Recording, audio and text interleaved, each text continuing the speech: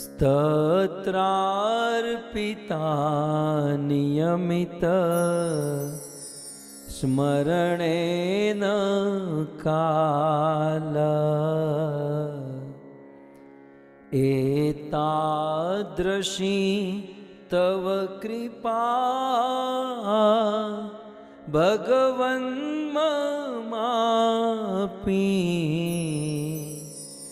दुर्दैव मे दृशमिहा जनिनानुराग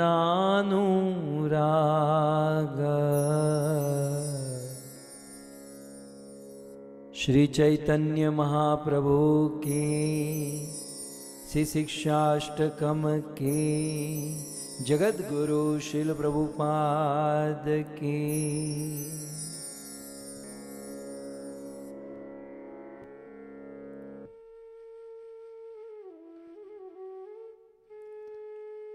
हरे कृष्णा।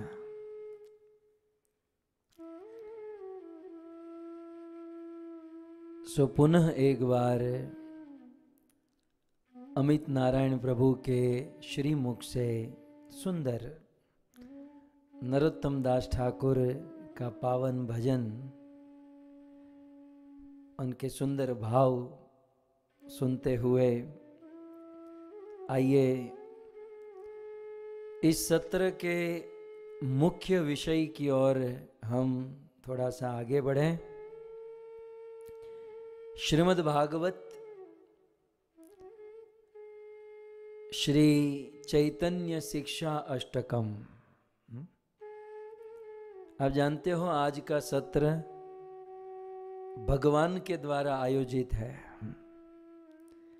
आज का ये सत्र शशि राधा गिरधारी जी के द्वारा आयोजित हुआ है। शशि राधा गिरधारी भगवान के, श्री देवादिदेव महादेव की, श्री बाल कृष्ण लाल की, श्री नरसिंह देव भगवान की, श्री गजानन गणपति महाराज की। जितने दिखे उतने का जय बुलवाया। और भी जीना जीना कुछ होगा तो पता नहीं मुझे जितना दर्शन हुआ उतना। सो so, इस न्याय के अनुसार आप लोगों को देखकर जय बुलवानी हो तब तो प्रवचन हो ही नहीं पाएगा। आशा शर्मा माता की जय मोनिका माता की जय ऐसा यदि उपाड़ करूँ तब तो लेकिन परम सौभाग्य है, हम श्री चैतन्य शिक्षा अष्टकम का श्रवण ही नहीं, रसास्वादन कर रहे हैं। शुरू शुरू में तो मूड ये था कि एक दिन में एक श्लोक कर लूँगा।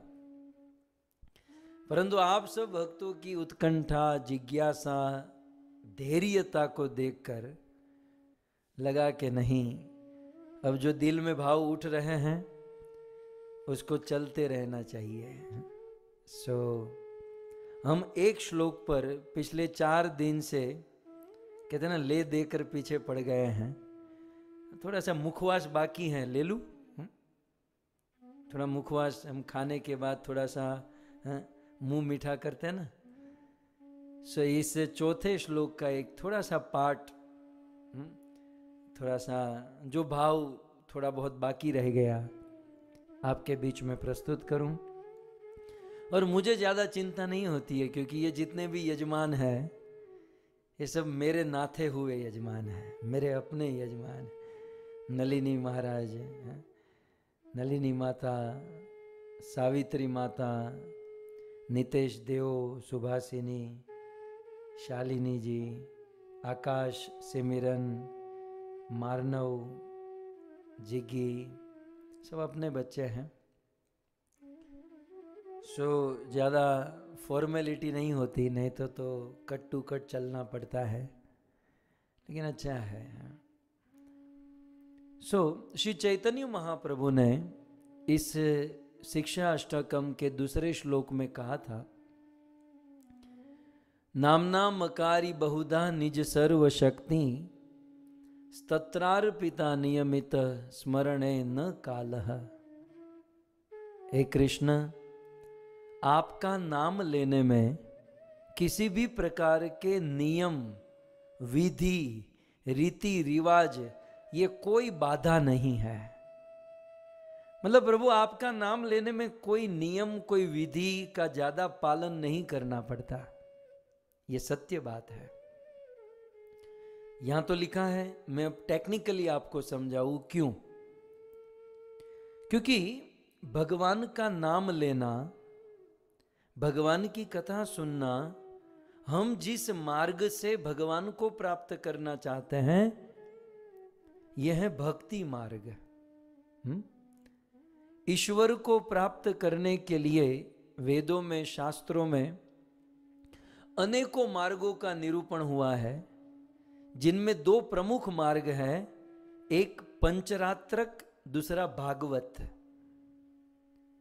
पंचरात्रक विधि से प्रभु को प्राप्त किया जा सकता है, या फिर भागवत विधि से भगवान को प्राप्त किया जा सकता है।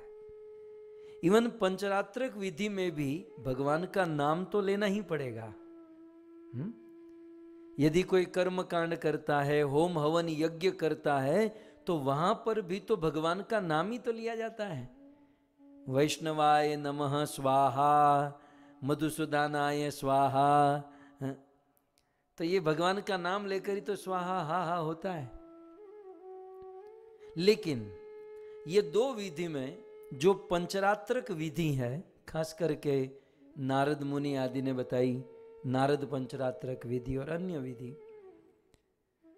सो उन पंचरात्रक में उस विधि में नियम और कर्म आदि में परफेक्शन होना बहुत ज़रूरी है। हुँ? पंचरात्रक विधि से जो प्रभु को प्राप्त करना चाहते हैं, उसमें नियम की बहुत ज़रूरत है। उसमें विधि, विधान उसमें कर्म का परफेक्शन होना बहुत ज़रूरी है। यदि थोड़ा भी आगे पीछे हुआ तो वह कर्म वो पंचरात्रक विधि आपको फल नहीं दे पाएगी। हम्म? सो एक है पंचरात्रक विधि। अच्छा दूसरी विधि प्रभु को प्राप्त करने की, वो है भागवत विधि। भागवत विधि को प्रेम विधि, भक्ति विधि भी कह सकते हैं। अच्छा इस भागवत विधि से भगवान को प्राप्त करने में, जैसे श्री चैतन्य महाप्रभु कहते हैं, नियम न, कालह न।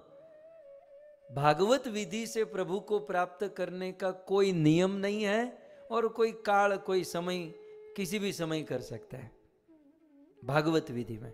क्यों? क्योंकि ये प्रेम की विधि है। सो प्रेम में ज़्यादा देखा नहीं, अब अब प्रेम का टाइम होता है। नहीं बताओ। हाँ साहिल, आपने तो नहीं किया ना? जिसने किया उसको पूछो। हाँ प्रेम का टाइम होता है कि मैं दोपहर को दो बजे तुमसे प्रेम करूँगा और फिर सीधे शाम को सात बजे प्रेम करूँगा। ऐसा होता है? ऐसा नहीं होता है ना? प्रेम का कोई टाइम नहीं, वहाँ नीति, नियम, विधि का होती है। सो भागवत विधि जो है ना, वो प्रेम की विधि है, भक्ति की विधि है। वहाँ नियमों के ऊपर उतना ध्यान नहीं दिया जाता। हाँ वहाँ विधि विधान के ऊपर उतना ध्यान नहीं दिया जाता। लेकिन पंचरात्रक विधि में कर्म परफेक्शन होना चाहिए, विधि, नियम सब परफेक्शन होना चाहिए। इसलिए हम लोग देखते हैं, कई बार कुछ लोग हमारी भागवत कथा का आयोजन करते हैं ना तो विशेष रूप से यजमान की जिज्ञासा होती है कि कथा कराने के लिए आपको श्रीफल देने को आना पड़ेगा? मैं कहता हूँ, भारत से यहाँ अमेरिका श्रीफल देने आओगे तो आपका कथा का बजट ऑलमोस्ट डबल हो जाएगा। पहले के ज़माने में होता था कर्म कांड में ये सब होता था। नाल, नालियर देते थे, विधि कर, फिर ये भी कहते हैं कि हमको भागवत का पाठ करना, जाप करना, ये, वो, यज्ञ रोज करना पड़ेगा। ये सत्य बात है। श्रीमद् भागवत में ये सब कुछ होता है। यदि पंचरात्रक विधि से भागवत श्रवण करते हो, कथा करते हो, सो कर्मकांड आदि में यह सब ध्यान रखा जाता है। लेकिन यदि आपने प्रेम मार्ग का स्वीकार किया है, तब तो यह कुछ ध्यान रखने की ज़रूरत नहीं। प्रेम मार्ग में भागवत विधि में केवल दो ही चीज़ महत्वपूर्ण है, श्रवण और कीर्तन। ठीक से सुनो ठीक से बोलो दैट्स इट वहाँ थोड़ा आगे पीछे हो जाए तो चल जाएगा। श्रवण और कीर्तन की महिमा है। श्री चैतन्य चरितमृत में कथा आती है एग्जैक्टली exactly कौन सा पात्र है? कि तो हमारा जीवन ही ऐसा हो गया। कभी भागवत में डुबकी लगाओ, कभी रामायण में लगाओ तो अभी अभी रामायण में डुबकी लगाई, कुछ समय पहले भागवत में डुबकी लगाई तो चैतन्य चरितमृत के कुछ कैरेक्टर भूल जाते हैं। लेकिन ऐसी लीला है कि एक बार एक भक्त थे, अपनी जीवहा को पकड़कर टॉयलेट जा रहे थे। तो रास्ते में शायद श्री चैतन्य महाप्रभु मिले, ए भाई, तू ये जीव पकड़कर टॉयलेट क्यों जा रहा है? बोले, महाप्रभु, क्या बताऊँ? ये लाल गोविंद ने इतनी हरि नाम की महिमा बताई है ना कि अब एक मिनट भी हरि नाम बोले बिना रह नहीं सकता हूँ। चौबीसों घंटा मेरे मुख से हरे कृष्णा हरे कृष्णा, कृष्ण कृष्ण, हरे हरे हरे राम हरे राम राम राम। तो चौबीसों घंटा बस जीवा से महामंत्र। आपको भी ऐसा अनुभव हुआ कभी? शुरू शुरू में होता है। जब आदमी महामंत्र जाप करना शुरू करता है तो शुरू शुरू में सोते सोते भी जीवा हिलती है। ये मुँह बबड़ता है। आजू बाजू वाले कहते भाई सोते सोते तो तू शांति रख। लेकिन शुरू शुरू में एक ऐसी अवस्था होती है। तो ये जो भक्त था, बड़ा शुद्ध भक्त था, उसके मन में उसकी वाणी से महामंत्र बंद होता ही नहीं था। तो मन में सोचा कि भाई टॉयलेट जाते समय तो एटलीस्ट महामंत्र नहीं बोलना चाहिए, नहीं तो अपराध हो जाएगा। इसलिए अपनी जीव को पकड़ लिया। फिर जाता था। तो शायद चैतन्य महाप्रभु उसे रास्ते में मिले, भाई जीव क्यों पकड़ा है? बोले, मैं महामंत्र बोलना बंद नहीं कर सकता। तब श्री चैतन्य महाप्रभु ने कहा टॉयलेट करते हुए तुम्हारी मृत्यु हो गई तो? तो मतलब जीव पकड़ कर ऐसे ही अच्युतम केशवम भगवत गीता के न्याय के अनुसार यम यम वापी स्मरण भावम त्यजन तंते कलेवरम, तुम तो हुँ?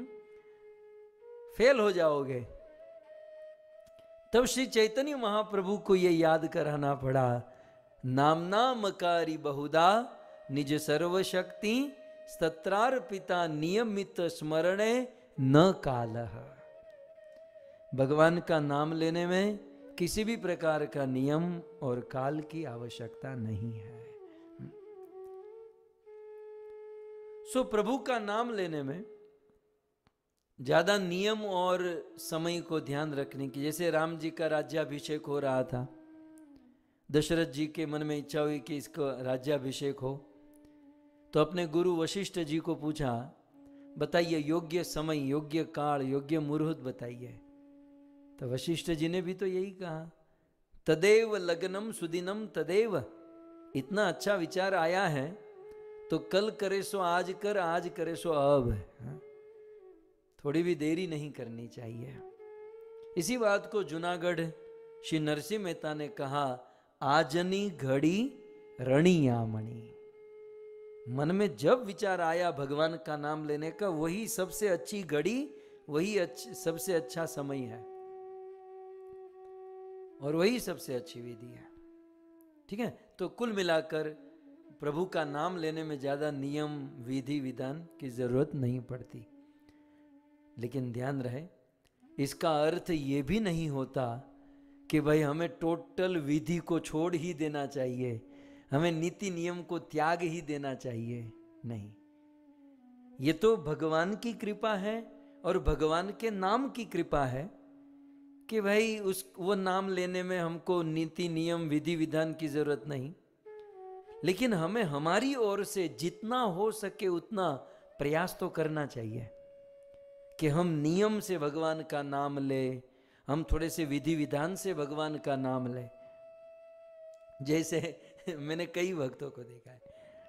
हमारे वहाँ शिल प्रभुपाद जी ने एक ग्रंथ में लिखा था कि भोजन करते समय प्रवचन सुनना चाहिए, खास करके चैतन्य चरितमृत या कोई ग्रंथ की कथा सुननी चाहिए। भोजन करते समय। तो कुछ बंदे ऐसे हैं दिन भर प्रवचन नहीं सुनते, लेकिन जब भोजन करने बैठते हैं, तभी प्रवचन सुनते हैं। दिन भर दिन भर मर जाएँगे, प्रवचन नहीं सुनेंगे, लेकिन जब खाना खाने को बैठेंगे, तब प्रवचन सुनेंगे। शिल प्रभुपाद जी ने कहा कि सोते समय कृष्णा बुक पढ़नी चाहिए। तो दिन भर बुक नहीं पढ़ेंगे सोते समय बुक पढ़ेंगे अरे भाई, ये ये कहा जा रहा है कि सोते समय भी पढ़ोगे तो अच्छा है। भोजन करते समय भी कथा सुनोगे तो अच्छा है। तो इसका अर्थ ये तो नहीं कि केवल भोजन करते समय ही सुना जाए, केवल सोते हुए भी ही सुना जाए। जैसे यहाँ से हमारी मित्तल माता टेनेसी से लगभग अपने दुकान में, अपने स्टोर में खड़े खड़े कथा सुन रही हैं। ये एक मजबूरी है। लेकिन यदि संभव हो पॉसिबल हो, तब तो घर पे बैठकर आराम से, धैर्य से कथा सुन सकते हैं, है ना? तो जहाँ तक हो सके संभवतः हमें हमारा पूरा प्रयास करना चाहिए कि हम विधि विधान से इन नियमों का पालन करते हुए कथा सुने। अच्छा मैं आपको इसके फ़ायदे भी बता दूँ। यद्यपि न नियम न काल, लेकिन विधि विधान नीति नियम से यदि भगवान के नाम का उच्चारण करोगे तो दो सबसे बड़े लाभ होंगे। एक लाभ, भगवान से आपका संबंध जुड़ जाएगा, बहुत जल्दी जुड़ेगा। यही तो हम चाहते हैं। हम पूरी दुनिया से संबंध जोड़ चुके हैं। लगभग हमारे फेसबुक में सब फॉलोवर हो चुके हैं। तो पूरी दुनिया हमारी फेसबुक में फ्रेंड बन गई है इंस्टा पे हो गए हैं, लेकिन भगवान से कहाँ संबंध जुड़ा है? सो भगवान से संबंध जोड़ना चाहते हो और इंस्टेंटली तुरंत, जल्दी से जल्दी प्रभु से संबंध जोड़ना चाहते हो तो जब हम भगवान का नाम लेते हैं, नीति, नियम, विधि, विधा, यद्यपि ज़रूरत नहीं है, लेकिन यदि रिज़ल्ट जल्दी चाहिए तो विधि, विधान, नीति, नियम से हमें नाम लेना चाहिए। हम्म? अच्छा मुझे बताइए कि किसी से संबंध जोड़ने के लिए आपको क्या करना पड़ेगा? आप में से कौन बताएगा? हमको 2024 24 में साहिल का संबंध जोड़ना है। ये मेरा लक्ष्य, गोल है, टारगेट है हाँ? तो किसी से भी संबंध जोड़ने के लिए साहिल बेटा क्या करना पड़ेगा, बताओ? मैं बताता हूँ हाँ? क्योंकि आप लोग तो बड़े परम पवित्र आत्मा हो आपके मन में गीता भागवत के अलावा कुछ चलता ही नहीं है ये प्रेम का प्रकरण मैं सिखाता हूँ देखिए, किसी से संबंध जोड़ना है ना, किसी से संबंध जोड़ने के लिए आपको अपना क्वालिटी टाइम देना होगा मैं सूत्र, सूत्रात्मक बात कर रहा हूँ आपको यदि किसी से अच्छा संबंध बनाना है तो क्वालिटी टाइम देना होगा। कभी कभी हम लोग घर पर रहते हैं पति पत्नी में ही अच्छा संबंध नहीं होता। क्यों? तो कह भी सकते हैं कि भाई चौबीसों घंटा पति पत्नी साथ में तो रहते हैं, फिर भी अच्छा संबंध क्यों नहीं? टाइम है, लेकिन क्वालिटी टाइम नहीं है। हम लोग हमारे बच्चों को टाइम तो दे रहे हैं, परंतु वह क्वालिटी टाइम अब देखो, आज मेरा वारा पड़ जाएगा। आज ये प्रवचन जब घर पर सुना जाएगा, बच्चे लोग स्कूल में गए हैं, जब आकर सुनते हैं। तो मैं ये कह रहा हूँ कि हाँ हम लोग समय तो दे देते हैं, लेकिन क्वालिटी टाइम नहीं देते हैं, इसलिए वो संबंध गाढ़, प्रगाढ़ नहीं हो पाता है। तो किसी से भी संबंध जोड़ने के लिए क्वालिटी टाइम देना होगा। तो फिर भगवान से संबंध जोड़ने के लिए क्या करना होगा? क्वालिटी चैंटिंग करना होगा। यद्यपि नाम कृपा, भगवत कृपा से तो वो चला लेंगे कि नीति, नियम, विधि, विधान, समय को न ध्यान में रखो तो भी चलेगा। लेकिन क्योंकि हमें इच्छा है कि हमारा भगवान से संबंध जुड़े तो हमें जैसे दुनिया वालों के साथ संबंध जोड़ने के लिए क्वालिटी टाइम देते हैं, वैसे भगवान से संबंध जोड़ने के लिए क्वालिटी चैंटिंग करना होगा। और जितना क्वालिटी चैंटिंग चैंटिंग करेंगे, उतना अच्छे से संबंध जुड़ेगा। अच्छा क्वालिटी चैंटिंग की परिभाषा तो आप जानते हो ना? पिछले चार दिन हमने क्या किया? उसी के ऊपर चर्चा की ना? कि क्वालिटी चैंटिंग माने उच्चारण प्रोनाउंसिएशन परफेक्ट होना चाहिए। उसे, उस उस अर्थ को समझते हुए चैंटिंग करना चाहिए? हम्म? उसका रियलाइजेशन उसका अनुभव करके, उनका ध्यान करते हुए चैंटिंग करना चाहिए। और चैंटिंग करते हुए भाव शुद्ध होना चाहिए। कोई छोटी मोटी वस्तु के लिए नहीं, भगवत प्रेम, भगवत संबंध के लिए होना चाहिए। ठीक है? तो नीति नियम से, विधि विधान से चैंटिंग करने का यह लाभ है। और दूसरा लाभ क्या है? दूसरा लाभ है, यद्यपि नाम हमसे ये आशा नहीं रखता है कि ये सीरियस होकर विधि विधान नीति नियम से नाम ले, लेकिन फिर भी यदि हम लोग विधि विधान नीति नियम से लेते हैं तो नाम की कृपा होती है हम पर। ये दूसरा लाभ है। नाम जो है, हरि नाम हम पर तुरंत कृपा कर देता है। यद्यपि उनकी ओर से कोई नीति नियम नहीं है, लेकिन हम नीति नियम लेंगे, हम सिक्सटीन राउंड चैंट जाप करेंगे, हम रोज सुबह उठकर करेंगे, हम सिंसियर होकर करेंगे, एक जगह बैठकर करेंगे। यदि इस प्रकार के हम संकल्प लेते हैं तो वो नाम की कृपा, नाम बोलता है कि अब रुलाएगा क्या? इतना सीरियस होकर तू ले रहा है। सो नाम की ज़बरदस्त कृपा होती है। और नाम की कृपा होती है तो प्रभु से प्रेम है, प्राप्त हो जाता है। इसलिए हमें बड़े सिंसियर होकर हाँ, भगवान के नाम का ध्यान करते हुए भगवान के उस अक्षर का ध्यान स्मरण करते हुए उस पर मन को एकाग्र करके हमें चैंटिंग करना चाहिए। मैं जानबूझकर भक्तों को प्रश्न पूछने का समय नहीं दे रहा हूँ। क्योंकि ये जो सब्जेक्ट चल रहा है, इसमें यदि माइक आपके ऑन किए जाएँगे ना तो सैकड़ों प्रश्न आएँगे, क्योंकि ये प्रैक्टिकल कथा हो रही है। लेकिन फिर भी आपके जनरली जो प्रश्न हो सकते हैं, वही मैं आपको पूछूँ, वही मैं प्रश्न खड़ा करके उत्तर दूँ। तब कुछ लोगों का ये प्रश्न होगा, कि आप कहते हो कि नीति, नियम, विधि, विधान कंसंट्रेशन करके नाम जप करना चाहिए तो हम तो कभी कभी ड्राइविंग करते हुए माला जाप करते हैं। हम कभी कभी ट्रेन में आते जाते समय जाप करते हैं कभी फ़्लाइट से आते जाते समय कभी सब्ज़ी लेने जाते हैं रोड पर चैंटिंग जाप करते हैं तो ये सब बंद कर दे। भाई रुको रुको रुको। ए, ए, रुक रुक जाओ रुक जाओ। बंद नहीं करना है। मेरे प्रवचन का गलत इफ़ेक्ट ना हो। बंद कुछ नहीं करना है, है? आप जो कर रहे हो वो तो करना ही है। उसमें प्योरिटी को बढ़ाने की बात है। तो जब यहाँ पर बात हुई कि हमें पूर्ण प्रयास करना चाहिए ध्यान से भगवान का नाम जाप करने का तो फिर ट्रेन में यहाँ आते जाते तो ध्यान भंग होता ही है ना? यदि आप बस से जा रहे हो और टोटल माला में ध्यान रहेगा तो आप कैसे बैठ पाओगे, खड़े हो पाओगे, उतर पाओगे? तो ध्यान बढ़ जाएगा। तो क्या उस समय माला जाप नहीं करनी चाहिए? ना ना, करनी चाहिए।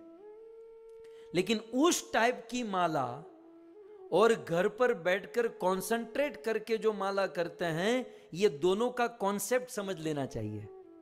हम लोग बस में, ट्रेन में फ़्लाइट में आते, जाते, चलते, उठते, बैठते, जो भगवान का नाम लेते हैं, जो माला करते हैं, वो है हमारी नेट प्रैक्टिस नेट आईपीएल चल रही है ना अभी?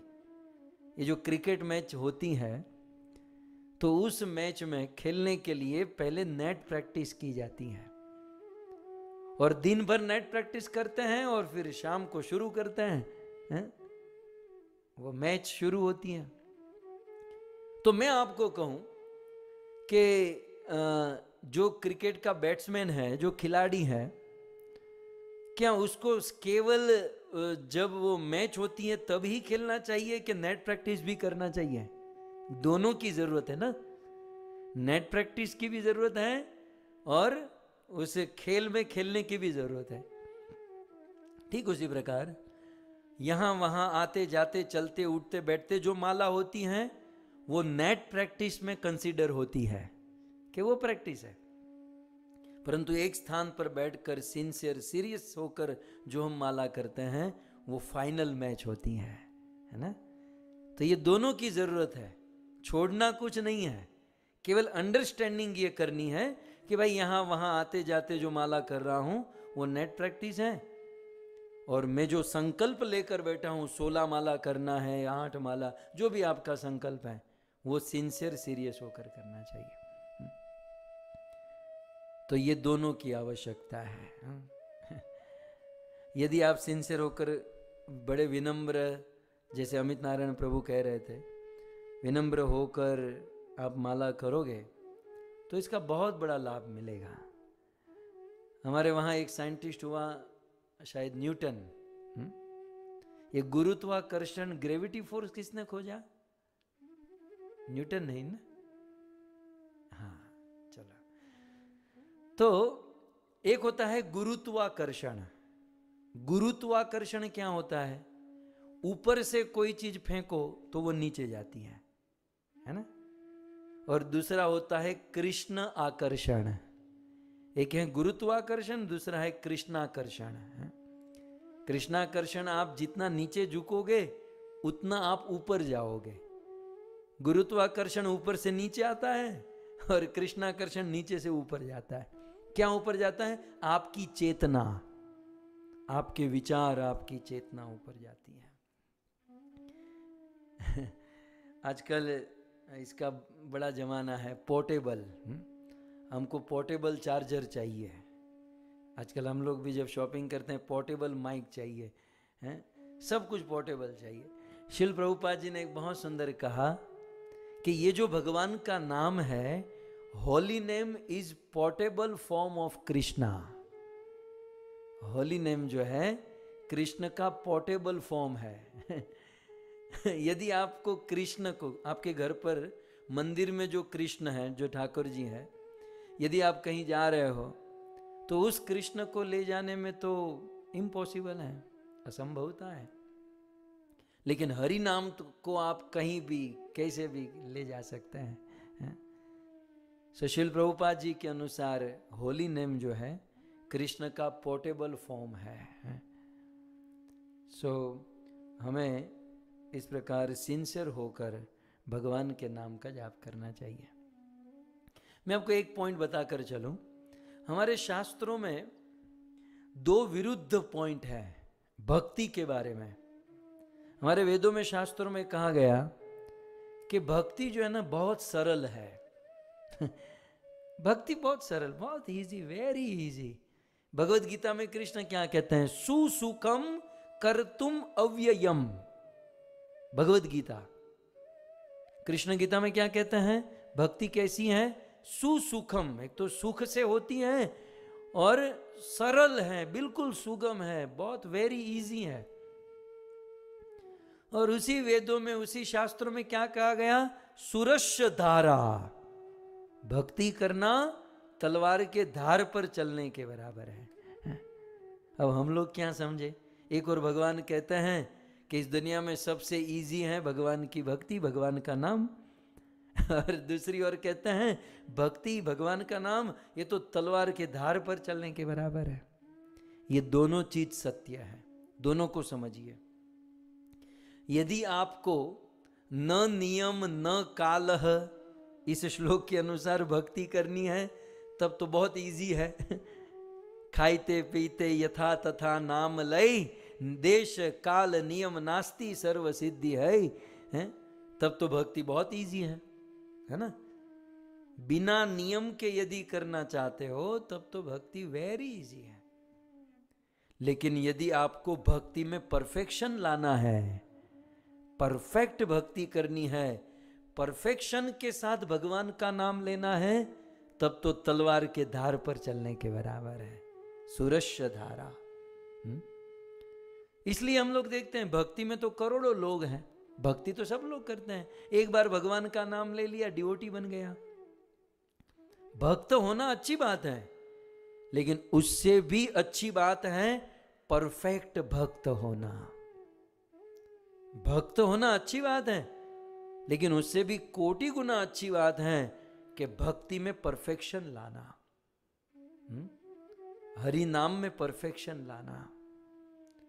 सो गुरु भगवान की कृपा से हरि नाम तो मिला। अब हमारी जॉब ये है, हमारी मेहनत, हमारा कार्य होना चाहिए कि अब उसमें हम परफेक्शन लाए। हमें संतुष्ट नहीं होना है, लगे रहना है, मेहनत करनी है और और परफेक्ट और परफेक्ट और परफेक्ट करते जाना है। और आपका प्रयास जब भगवान देखेंगे कि ये परफेक्शन में आगे बढ़ रहा है तो कृपा होगी, वो प्रेम, व संबंध प्राप्त होगा। सो हमें भक्ति में परफेक्शन लाना है। कुलशेखर आलवार जानते ना कुलशेखर आलवार दक्षिण भारत के संतों में से एक है। उन्होंने एक बहुत सुंदर श्लोक कहा मंत्रेक शत्रु नाशनम। मंत्र एक मात्र मंत्र ही ऐसा है जो हमारे शत्रु का विनाश कर सकता है, है? सो उन्होंने अपने श्लोक में कहा कुलशेखर आलवार ने मंत्रेक शत्रु नाशनम तो पहले तो समझना पड़ेगा शत्रु कौन है। भगवत गीता में कृष्ण कहते ना, कि यहाँ वहाँ उस देश में, वो देश में, पड़ोस में शत्रु नहीं, आपका असली शत्रु तो आपके अंदर बैठा है।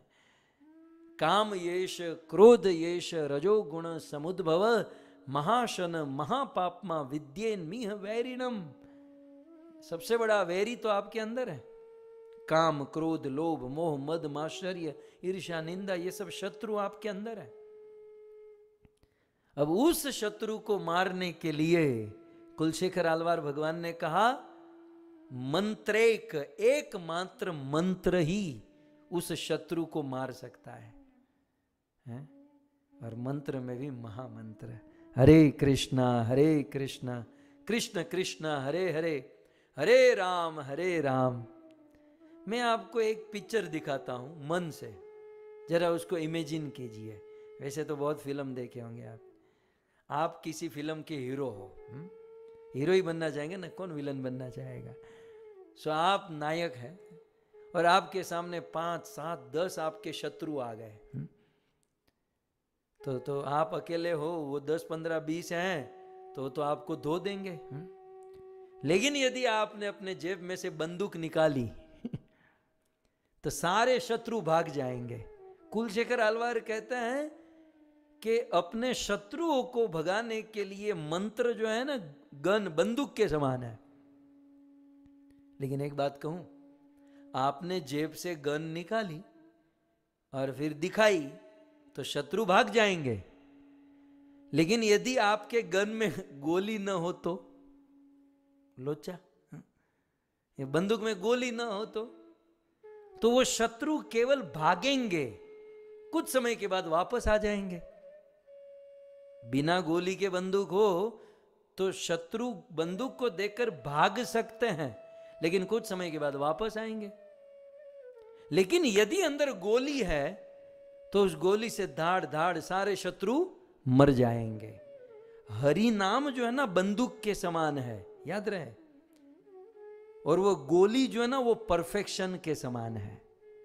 हम लोग हरि नाम लेकर अपने छोटे मोटे शत्रु को दूर कर रहे हैं, लेकिन उसको पूर्ण रूप से तब तक नहीं मार पाएँगे जब तक हरि नाम में परफेक्शन नहीं लाएँगे। हम्म? इसलिए परफेक्शन की ज़रूरत है। इसलिए इस श्लोक का गलत अर्थ नहीं लेना चाहिए। अरे, भगवान ने कह दिया, कोई नियम की ज़रूरत नहीं। कोई टाइम आदि की ज़रूरत नहीं। हाँ ज़रूरत नहीं है, वो तो हरि नाम की कृपा है। लेकिन यदि शत्रुओं को पूर्ण रूप से विनाश करना है तो उसमें बंदूक में गोली चाहिए और वह गोली है परफेक्शन हमें, हमारे भगवान का नाम लेते समय परफेक्शन लाना चाहिए। तो बस ये मुखवास बाकी था इस श्लोक के लिए, है? तो लगभग ये श्लोक यहाँ पर समाप्त हुआ। अब हम आगे की ओर बढ़े, अगले श्लोक की ओर। तो मैं पुनः याद करा लूँ कि दो श्लोक हुए। सबसे पहले श्लोक में श्री चैतन्य महाप्रभु ने चेतो दर्पण मार्जनम श्लोक में कृष्ण संकीर्तन की सात महिमा बताई। प्रथम श्लोक में कृष्ण संकीर्तन की सात या आठ महिमा बताई। फिर दूसरे श्लोक में, उस कृष्ण के नाम में शक्ति कहाँ से आती है? हरि नाम में, कृष्ण नाम में शक्ति कहाँ से आती है, ये बताया और अपना दुर्भाग्य बताया, दुर्दैव इद्रशम अब तीसरे श्लोक में श्री चैतन्य महाप्रभु आज क्या बताएँगे? कि उस भगवान श्री कृष्ण के पवित्र नाम को यदि सदा के लिए जीवन में उतारना है, यदि आप चाहते हो कि कृष्ण का नाम सदा के लिए हम लेते रहे तो हमें कुछ करना होगा क्योंकि एक बात तो निश्चित है कि भगवान का नाम शुरू करने में बहुत इजी है और हरि नाम छोड़ना भी बहुत इजी है, लेकिन हरि नाम में टिकना ये बड़ा कठिन है? सो तीसरे श्लोक में श्री चैतन्य महाप्रभु सदा हरि कीर्तन कैसे कर सकते हैं? सदा सब लोग नहीं कर सकते। हमने हमारे जीवन में मेरा तो मेरा तो हाँ, आप लोगों की कृपा से काम ही ये हो गया है कि हम जब हज़ारों को कथा सुनाते हैं कीर्तन करते हैं उसमें से टिकते कितने हैं? दो पाँच लोग। विरले बहुत कम होते हैं। हंड्रेड परसेंट रिज़ल्ट नहीं होता है। सो so, हरि नाम में टिकना जो है ना इम्पॉसिबल है। नेक्स्ट टू इम्पॉसिबल हरि नाम लेना, शुरू करना तो इजी है। हरि नाम छोड़ना भी इजी है। लेकिन हरि नाम में परफेक्शन लाकर उसमें टिकना इम्पॉसिबल इसलिए कहते हैं मिशन इम्पॉसिबल साहिल। लेकिन अब श्री चैतन्य महाप्रभु जो मिशन इम्पॉसिबल है, उस मिशन को अनस्टॉपेबल बनाएँगे। यदि हरि नाम के मिशन को अनस्टॉपेबल बनाना है तो शिक्षा अष्टकम का तीसरा श्लोक। जो मिशन इम्पॉसिबल से मिशन अनस्टॉपेबल तक चला जाएगा। तो सुनना चाहोगे? तो पहले हम इसको गाते हैं, गुनगुनाते हैं, थोड़ा सा हरि नाम संकीर्तन करके पवित्र होते हैं, और फिर शिक्षा अष्टकम के इस तीसरे श्लोक को समझने का प्रयास करेंगे।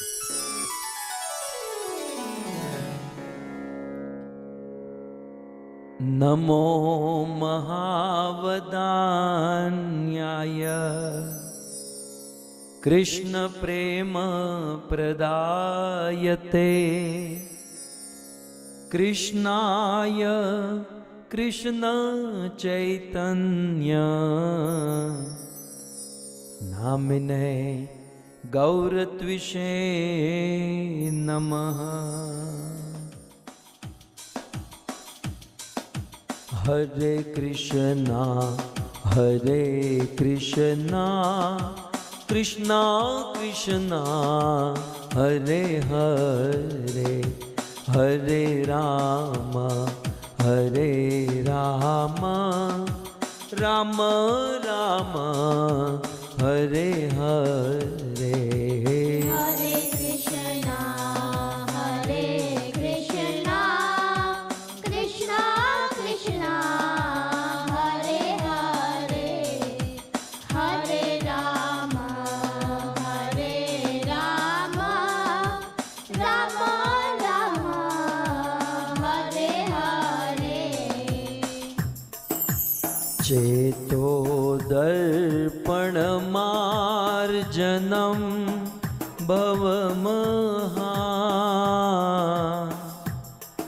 दावाग्निर्वापणम् श्रेयः कैरवचन्द्रिका वितरणम्। विद्यावधू जीवनम्। आनन्दाम्बुधिवर्धनं प्रतिपदम् पूर्णामृता स्वादनम् सर्वात्मस्नपनं परं विजयते। श्रीकृष्णसङ्कीर्तनम् हरे कृष्णा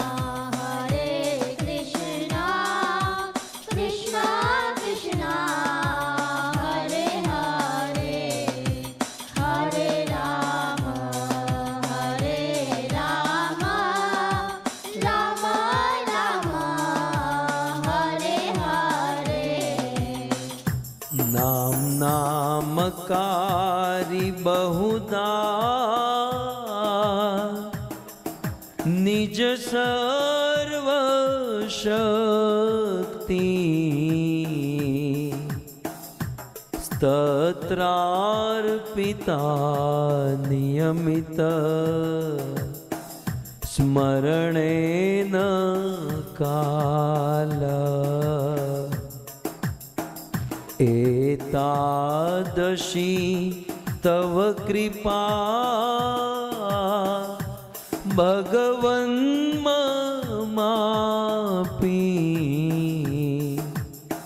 दुर्दैव मे। दशमिहा जनिनानुराग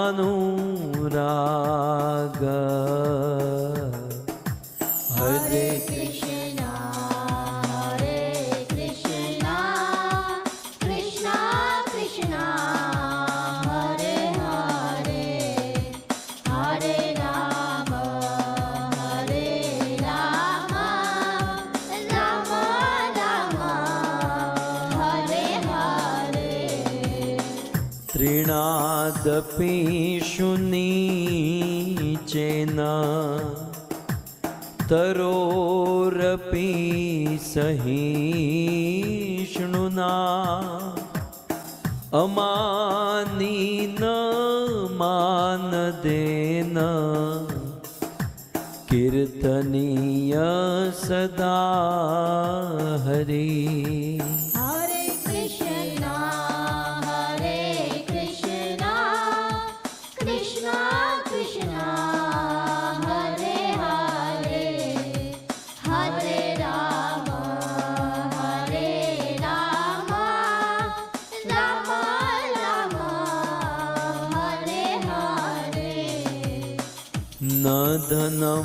न जनं न सुन्दरी कवितां वा जगदीश कामये। मम जन्मनि जन्मनीश्वरे। भवताद् भक्ति रहे तुकी त्वयि। हरे कृष्णा। हरे कृष्णा कृष्णा कृष्णा।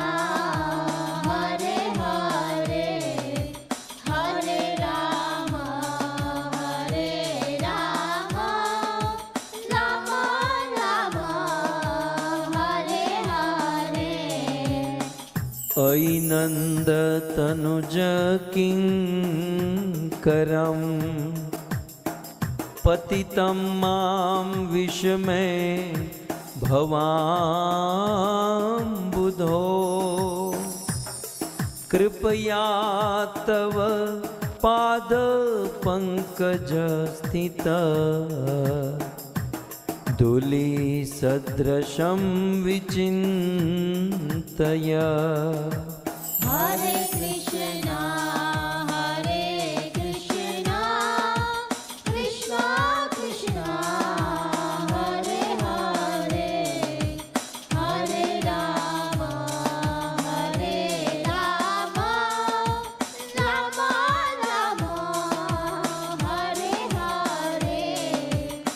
नयनं गलद अश्रुधारया। वदनं गदगद हृदया गिरा। पुलके निचितं वपुः कदा। तव नाम ग्रहणे भविष्यति। हरे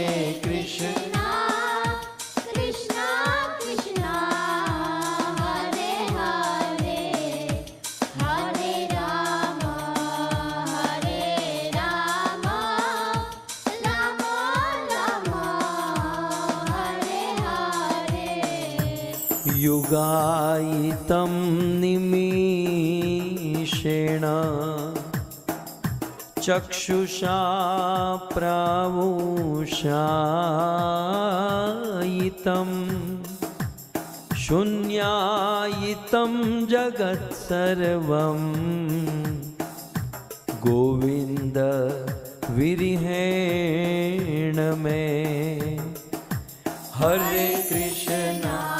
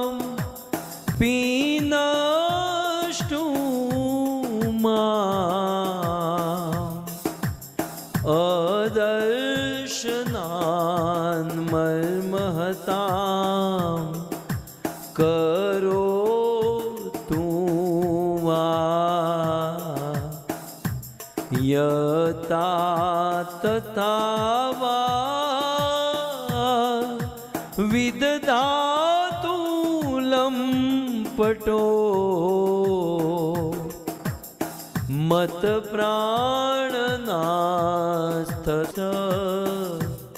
एव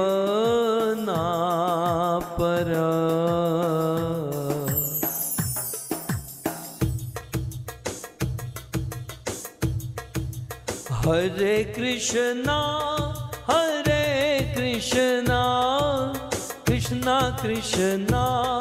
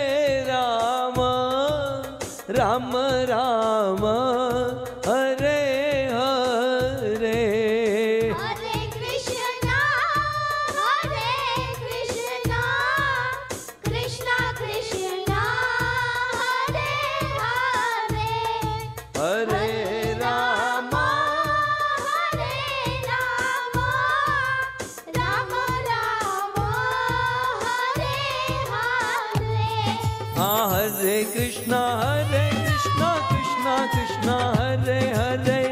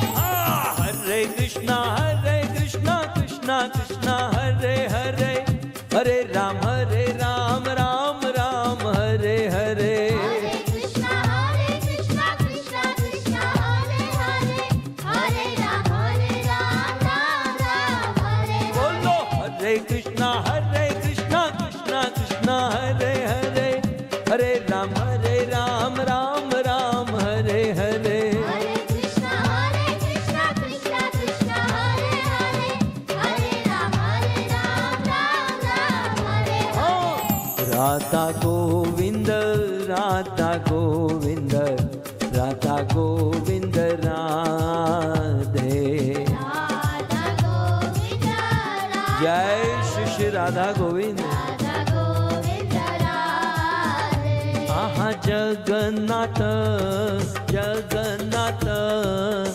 बलदेवा जय सुभद्रा। जगन्नाथ जगन्नाथ। बलदेवा जय हाँ। गौरनिताय जय गौरनिताय गौरनिताय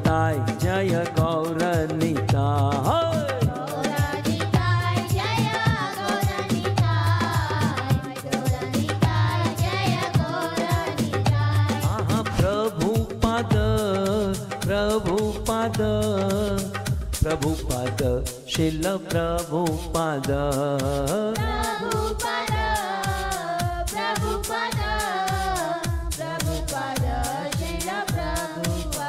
जय जय प्रभुपाद प्रभुपाद प्रभुपाद प्रभुपाद जय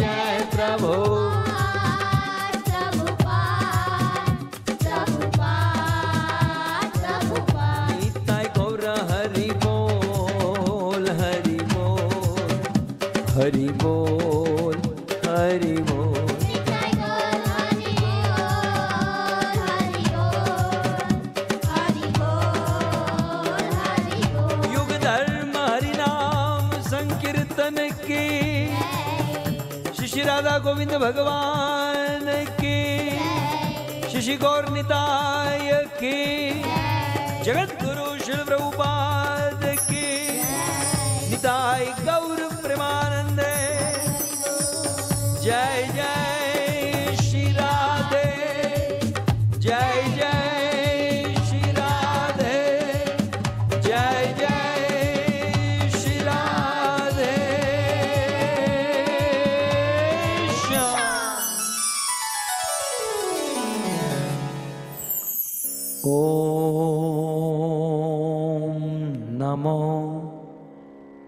भगवते चैतन्यचन्द्राय।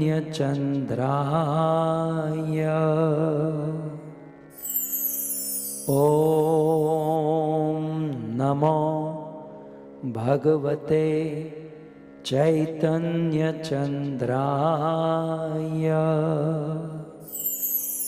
ॐ नमो भगवते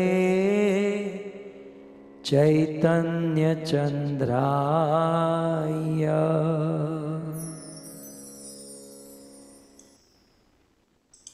हरे कृष्ण हरे कृष्ण कृष्ण कृष्ण, हरे हरे। हरे राम हरे राम राम राम, हरे हरे। हरे कृष्णा तो स्वागत है समस्त वैष्णव वृंद का श्रीमद् भागवत कथा के इस पंचम दिवस में, जहाँ पर हम फिर से श्री शिक्षाष्टकम का रसपान कर रहे हैं, जहाँ पर हरि नाम की अद्भुत महिमा हम पिछले पाँच दिन से श्रवण करते आ रहे हैं। और प्रभु जी के श्रीमुख से यह सुंदर कथा श्रवण करने का हमें अवसर मिल रहा है। उसमें विशेष धन्यवाद करते हैं प्रभु जी का कि बहुत सुंदर प्रभु जी हम सब के लिए इतना सुंदर प्रयास कर रहे हैं और यहाँ पर आकर वे नाम महिमा हम सबको रसास्वादन करा रहे हैं। तो हृदय से प्रभु जी का आभार प्रकट करेंगे। एक बार महामंत्र उच्चारण करते हुए हरे कृष्ण हरे कृष्ण कृष्ण कृष्ण, हरे हरे। हरे राम हरे राम राम राम, हरे हरे।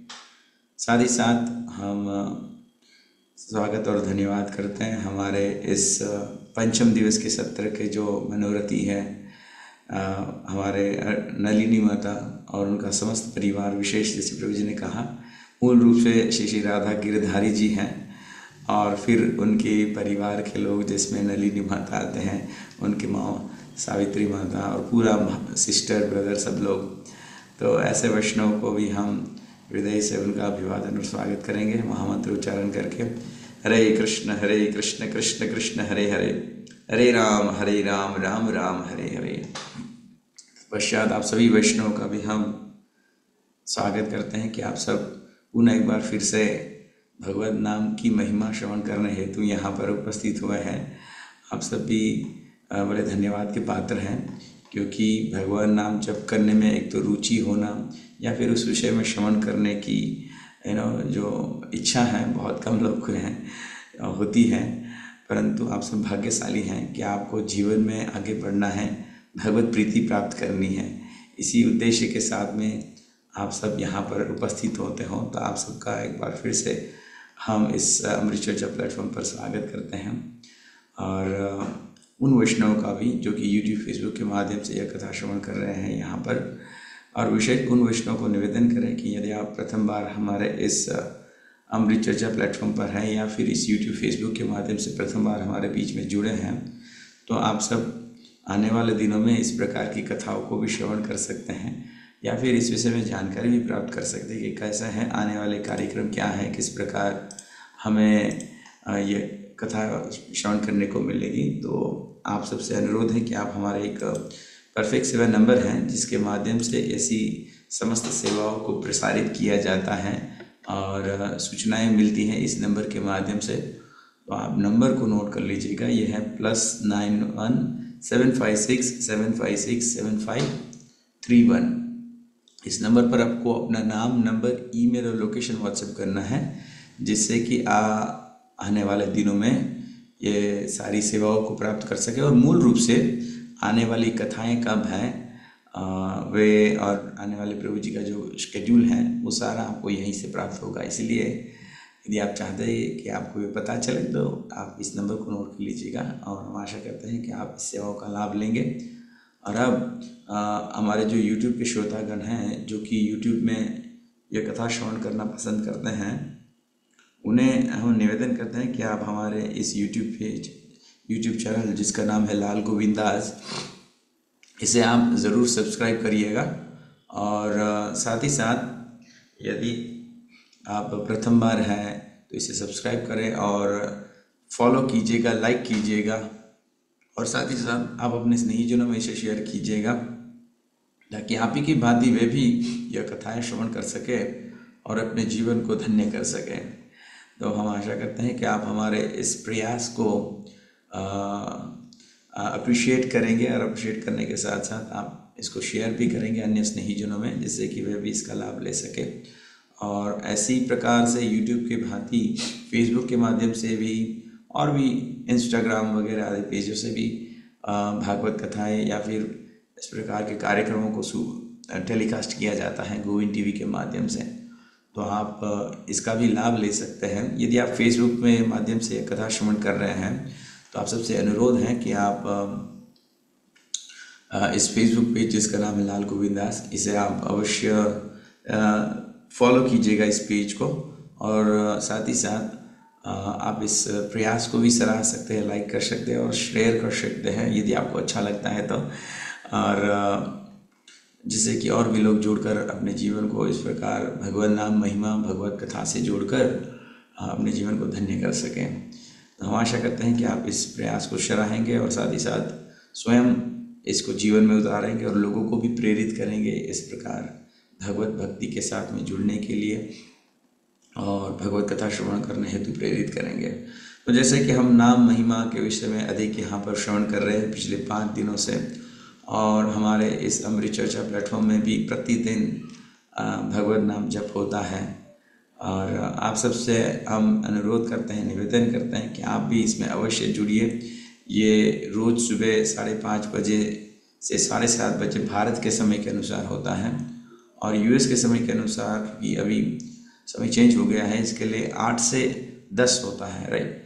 तो आप प्रतिदिन यह हरिनाम जप जिसकी महिमा हम यहाँ पर प्रभु जी के श्रीमुख से श्रवण कर रहे हैं कि इसको विशेष रूप से यदि हम एक स्थान पर बैठकर, एक आसन पर बैठकर जप करते हैं तो भगवत भक्ति, भगवत प्रीति प्राप्त करना अधिक आसान हो जाता है, जैसे प्रभु जी ने कहा क्वालिटी टाइम तो क्वालिटी टाइम हमको देना है भगवान जप, नाम जप को, जिससे कि हम भगवान के प्रेम को प्राप्त कर सके या भगवत प्रीति उत्पन्न कर सकें। हम आशा करते हैं कि आप आने वाले दिनों में यहाँ पर हमारे साथ में इस कार्यक्रम में जुड़ेंगे। और अब हम निवेदन करना चाहते हैं परम पूज्य राधा गोविंद गोस्वामी महाराज की कृपा पात्र श्री शशिमान लाल गोविंद प्रभु जी से कि वे इस पंचम दिवस की कथा को हम सबको श्रवण कराएँ। धन्यवाद। हरे कृष्ण।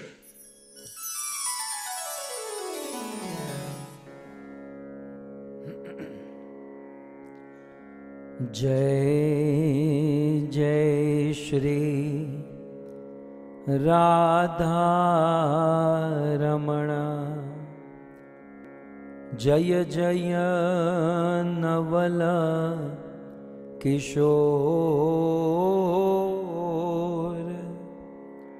जय गोपी चित चोर प्रभो।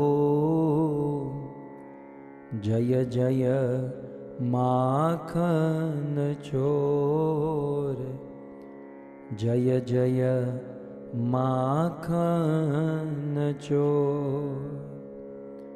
श्री कृष्णचंद्र भगवान के शिक्षाष्टकम की जगत गुरु शिल प्रभुपाद की।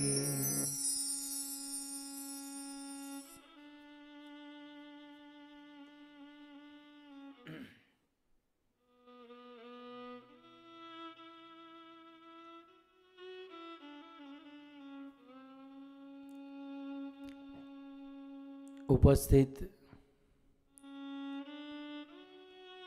भगवत कथा अनुरागी,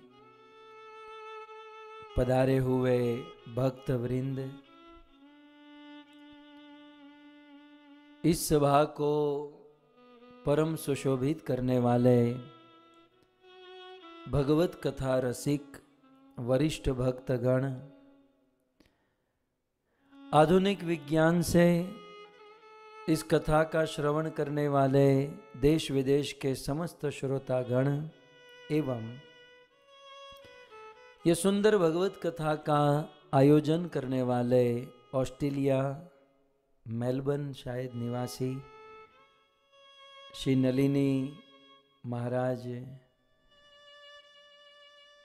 सावित्री देव माता जिनकी है नितेश देव सुभाषिनी शालिनी, रत्न, आकाश, सिमिरन मारनव गिजी, जिग्गी। आप सभी भक्तों का श्रीमद् भागवत कथा के इस पंचम सत्र में पुनः एक बार हार्दिक स्वागत एवं आप सभी भक्तों के चरणों में हमारा प्रणाम। राधे हॉलैंड से गौर भक्ति माता जी का दर्शन हो रहा है। सो उनका भी विशेष स्वागत करते हैं।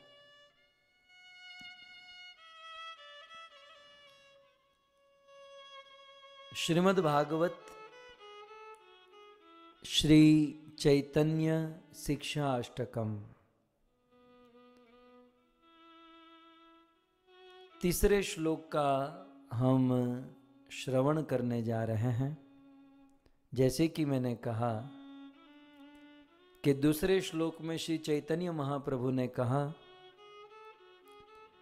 दुर्दैव मिद्रशम इहा जनी नानुराग मेरा दुर्भाग्य है, अर्थात इतने इतने नाम अपराध हो रहे हैं कि जिससे वह नाम का रस वह प्रेम नहीं मिल रहा है। ये मेरा दुर्भाग्य है। सो नाम अपराध से मुक्त होना सिंसियर होकर भगवान का नाम लेना ये इम्पॉसिबल है। ऐसा कई बार हम लोग हाँ, सुनते हैं बोलते हैं। लेकिन ये इम्पॉसिबल से अनस्टॉपेबल की यात्रा है। इस तीसरे श्लोक में, सदा कीर्तनीय, सदा हरि। सदा सदा के लिए हम बिना रुके, बिना छोड़े हरि नाम कैसे ले सकते हैं? मुझे कमनीय कृष्ण प्रभु अक्सर कहा करते थे, प्रभु, ये मेरी भक्ति छूट तो नहीं जाएगी ना? भगवत कृपा से ये जो मिला है? कभी ऐसा तो नहीं होगा ना कि ये सब बंद होगा? मैंने कहा कभी नहीं। यदि सिंसियर होकर करते रहेंगे तब तो दिन भर दिन हम आगे ही बढ़ते जाएँगे। सो so, हम कैसे सदा हरि कीर्तन करें? हम कैसे आगे बढ़े? हरिनाम के फल की प्राप्ति में सबसे बड़ी बाधा क्या है? हम्म? हरिनाम परम महिमावंत है। सो हरिनाम के उस फल को प्राप्त करने की जो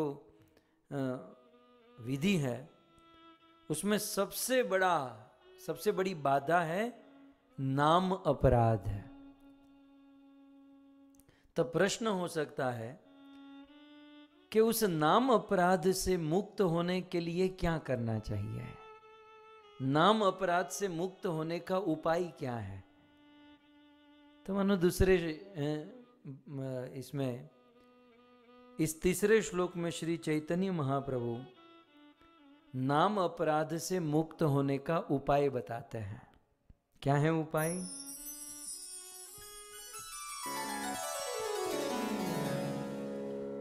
त्रिणादपि चेन। तरोरपि सहिष्णुना। अमानीना मानदेन कीर्तनीय सदा हरि। कीर्तनीय सदा हरि।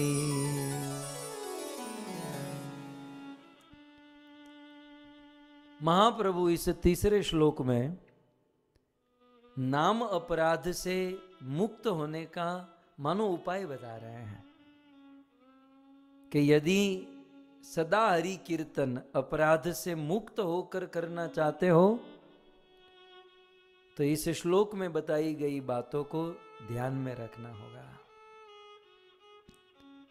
सबसे पहले तो श्लोक का परिचय मैं आपको बताऊँ, तोड़ दे ऐसा। महाप्रभु ने यह श्लोक अपनी अंत्य लीला में बोला है। बाकी के श्लोक का तो ज़्यादा पता नहीं चलता, लेकिन हाँ यह श्लोक जगन्नाथपुरी में अपने अंतिम दिनों में जब वो भाव और प्रेम की अवस्था में थे वैसे तो प्रेम स्वरूप ही है महाप्रभु। लेकिन जो प्रकट कर रहे थे। तब श्री चैतन्य महाप्रभु स्वरूप दामोदर और राय रामानंद के सामने यह बात बोले। आप नीचे देख सकते हैं।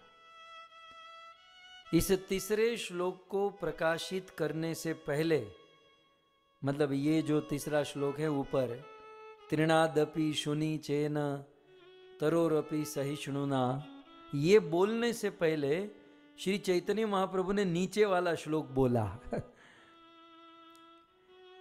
अब कुछ लोग ये मूल श्लोक तो जानते हैं, लेकिन ये नीचे वाली बात नहीं जानते हैं। तो थोड़ा डिटेल में। पहले महाप्रभु ने नीचे वाला श्लोक बोला और फिर ऊपर का अनाउंसमेंट किया। क्या कहते महाप्रभु? परिचय दे रहे हैं।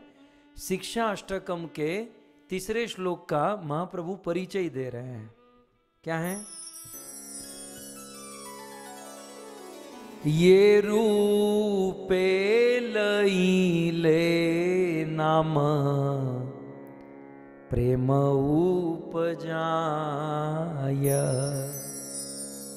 ये रूपे लई ले नाम प्रेम उपजाय ताहार लक्षण शुन। स्वरूप राम राय। ताहार लक्षण शुन। स्वरूप राम राय बहुत सुंदर बात है। मुझे तो मूल श्लोक से तो ज़्यादा परिचय अच्छा लग रहा है। चैतन्य महाप्रभु कहते हैं, ये रूपे मतलब इस तरह, ये रूपे का अर्थ है, बंगला भाषा है मतलब इस रूप से, इस तरीके से, हैं? सो ये रूपे इस तरीके से लईले नाम। हे स्वरूप, हे राय रामानंद इस रूप से यदि तुम नाम लोगे तो प्रेम उपजाए। तो प्रेम प्रकट होगा। हम्म? क्योंकि हम लोग बहुत बहुत नाम ले रहे हैं बहुत बहुत नाम ले चुके हैं लेकिन प्रेम नहीं उपजा। लेकिन प्रेम प्राप्त नहीं हुआ। तब महाप्रभु को कहना पड़ा अब जो मैं बता रहा हूँ इस रूप से यदि नाम लोगे, इस प्रकार से यदि नाम लोगे तो प्रेम उप जाए तो प्रेम उत्पन्न होगा और ताहार लक्षण सुन स्वरूप राम राय। स्वरूप दामोदर और रामानंद राय। जिस रूप से प्रेम उत्पन्न होगा, भगवान का नाम लेने से, उसके लक्षण तुम सुनो। और फिर श्री चैतन्य महाप्रभु बोले तरोरपि सहिष्णुना, अमानीन मान देन कीर्तनीय सदा हरि सो श्री चैतन्य महाप्रभु यह बहुत सुंदर पवित्र श्लोक का उच्चारण किए मोटा मोटी इसका अर्थ ट्रांसलेशन क्या होता है, व्याख्या तो हम सुनेंगे डिटेल में, लेकिन पहले तो इसका सीधा अर्थ क्या होता है समझिए। त्रिनाद अपि शुनि चैन संधि विच्छेद त्रिनाद फिर दूसरा शब्द है अपि तीसरा है सु चौथा है नीचे न तृण से भी अधिक नीच बनकर निम्न बनकर अपने आप को क्या बात है मोहनदास की जय अरे भाई आपके टाइप की कथा हो रही थी और आप पिछले चार दिन से नहीं थे, हैं? मेरा तो ये घी जो है ना, नीचे ही गिरा? मैं पात्र खोज रहा था कि पात्र मिले जहाँ डालूं? खैर, सो त्रिनाद अपि शु नीचे न तृण से भी अधिक अपने आप को नीच समझकर, हरि नाम का जाप करना चाहिए मतलब अपना जीवन जीना चाहिए फिर दूसरा, तरोर अपि सहिष्णुना तर तरु माने वृक्ष पेड़ पौधे। और अपि माने तरो पेड़ पौधे से भी अधिक सहिष्णु माने सहनशील बनना चाहिए। तृण से भी अधिक अपने आप को नीच हम्बल विनम्र मानना। और तरु तरुवर हाँ, वृक्ष से भी अधिक अपने आप को सहनशील बनाना। दो बात। तीसरी बात अमानी न किसी भी प्रकार के मान की आशा न रखना। और चौथी बात, मान देना। दूसरों को मान देना। दूसरों को मान देना, सम्मान देना। जब ये चार वस्तु करोगे तो चौथी लाइन में कहते हैं, कीर्तनीय सदा हरि तब सदा हरि कीर्तन कर पाओगे। अब आपकी जानकारी के लिए, क्योंकि बाद में शायद मैं भूल जाऊँगा, एक बार परम पूज्य राधा गोविंद गोस्वामी महाराज के पास ये मैटर आई। ये मैटर क्या है पता? ये श्लोक जो है ना, कुछ जगह पर इस टाइप का श्लोक लिखा है, कुछ जगह पर त्रिनादपि सुनिचन तरोर इव सहिष्णुना। वो जो अपी है ना, अपी, उसके बदले ईव है। हालाँकि आप लोगों को तो उससे कोई मतलब नहीं है? कथा एक घंटे के बाद समाप्त हो भोजन पानी करके सो जाए। हमको तो इससे ही मतलब है, है?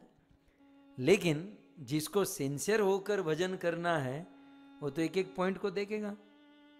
तो कुछ जगह पर इस प्रकार से श्लोक लिखा है कुछ जगहों पर अपी के बदले ईव लिखा है। अपी में और ईव में क्या अंतर है? ये अपी अपी जो है ना अपी मतलब तृण से भी अधिक नीच बनना। अपी माने तरु वृक्ष से भी अधिक सहनशील बनना। तो, तो ज़्यादा हो गया। ईव माने उसके समान। त्रिणात ईव सुनीचे न तृण के समान नीच बनना विनम्र बनना। और तरोर ईव ईव माने वृक्ष के समान सहनशील बनना। तो किसी ने हमारे गुरुदेव राधा गोविंद गोस्वामी महाराज से कहा कि गुरु जी ये तो दोनों प्रकार के श्लोक हैं इसमें से असली श्लोक कौन सा नकली कौन सा गुरु जी ने कहा कि पहले त्रिनाद ईव हाँ, तरोर ईव पहले वृक्ष के समान तो बन जाओ और फिर वृक्ष से अपी वृक्ष से ज़्यादा सहनशील का प्रयास करो हाँ।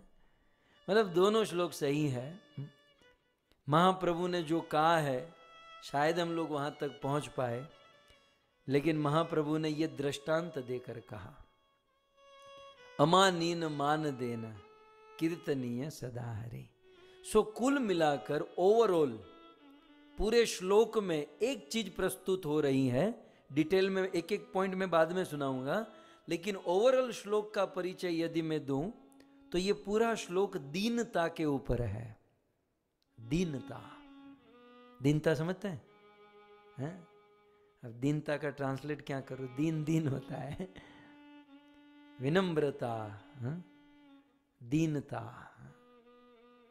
भजन करने वाले भक्त के जीवन में दीनता होनी चाहिए। यदि जीवन में भक्ति करते हुए दीनता नहीं है तो भजन करने का पूर्ण फल नहीं मिलेगा और हो सकता है दीनता नहीं होने के कारण भजन करते हुए हम अपराध करेंगे। यह श्लोक, जैसे मैंने पहले कहा, चैतन्य महाप्रभु ने कहा, अब यही श्लोक कृष्णदास कविराज गोस्वामी चैतन्य चरितामृत में लिखते हैं। परंतु चैतन्य चरितामृत में लिखने से पहले कृष्णदास कविराज गोस्वामी इस श्लोक का परिचय देते हैं। क्या परिचय देते हैं? आप देख सकते हैं। ये कविराज गोस्वामी कहते हैं। मतलब ये श्लोक के परिचय में बहुत सारे श्लोक हैं। कविराज गोस्वामी। ऊर्ध्व बाहु कहीं करी शुन सर्वलोक। ऊर्ध्व बाहु करी कहीं शुन सर्वलोक, नाम सूत्र गांधी पर, कंठे एक श्लोक। नाम सूत्र गांधी पर कंठे एक श्लोक। कृष्णदास कविराज गोस्वामी ने तो यहाँ तक कह दिया, ये श्लोक बोलते समय उनकी मतलब चेष्टा कैसी थी? उर्दू बाहु। दोनों हाथ ऊपर करके। कविराज गोस्वामी चैतन्य चरितामृत के प्रवक्ता, हैं रचयिता उर्दू बाहु, दोनों हाथ ऊपर करके ये श्लोक बोले हैं। सो उर्ध्व बाहु करी, कही सुनी सर्वलोक। अच्छा आदमी उर्ध्व बाहु कब करता है? जब आदमी को बहुत सारे लोगों के बीच में बोलना होता है ना, और उनकी आवाज़ दूर तक पहुंचानी हो मतलब जो लास्ट रो में बैठा है, जो लास्ट लाइन में बैठा है, उनको भी अपना मैसेज मिल जाए तब वो बैठा ऊपर बैठा हुआ वक्ता दोनों हाथ ऊपर करके ए उर्दू बाहु एक तो उर्दू बाहु होती और दूसरा जब ज़्यादा लोगों को कोई बात सुनानी होती है तो अ, उनको आकर्षित करने के लिए उच्च स्वर से बोलना पड़ता है।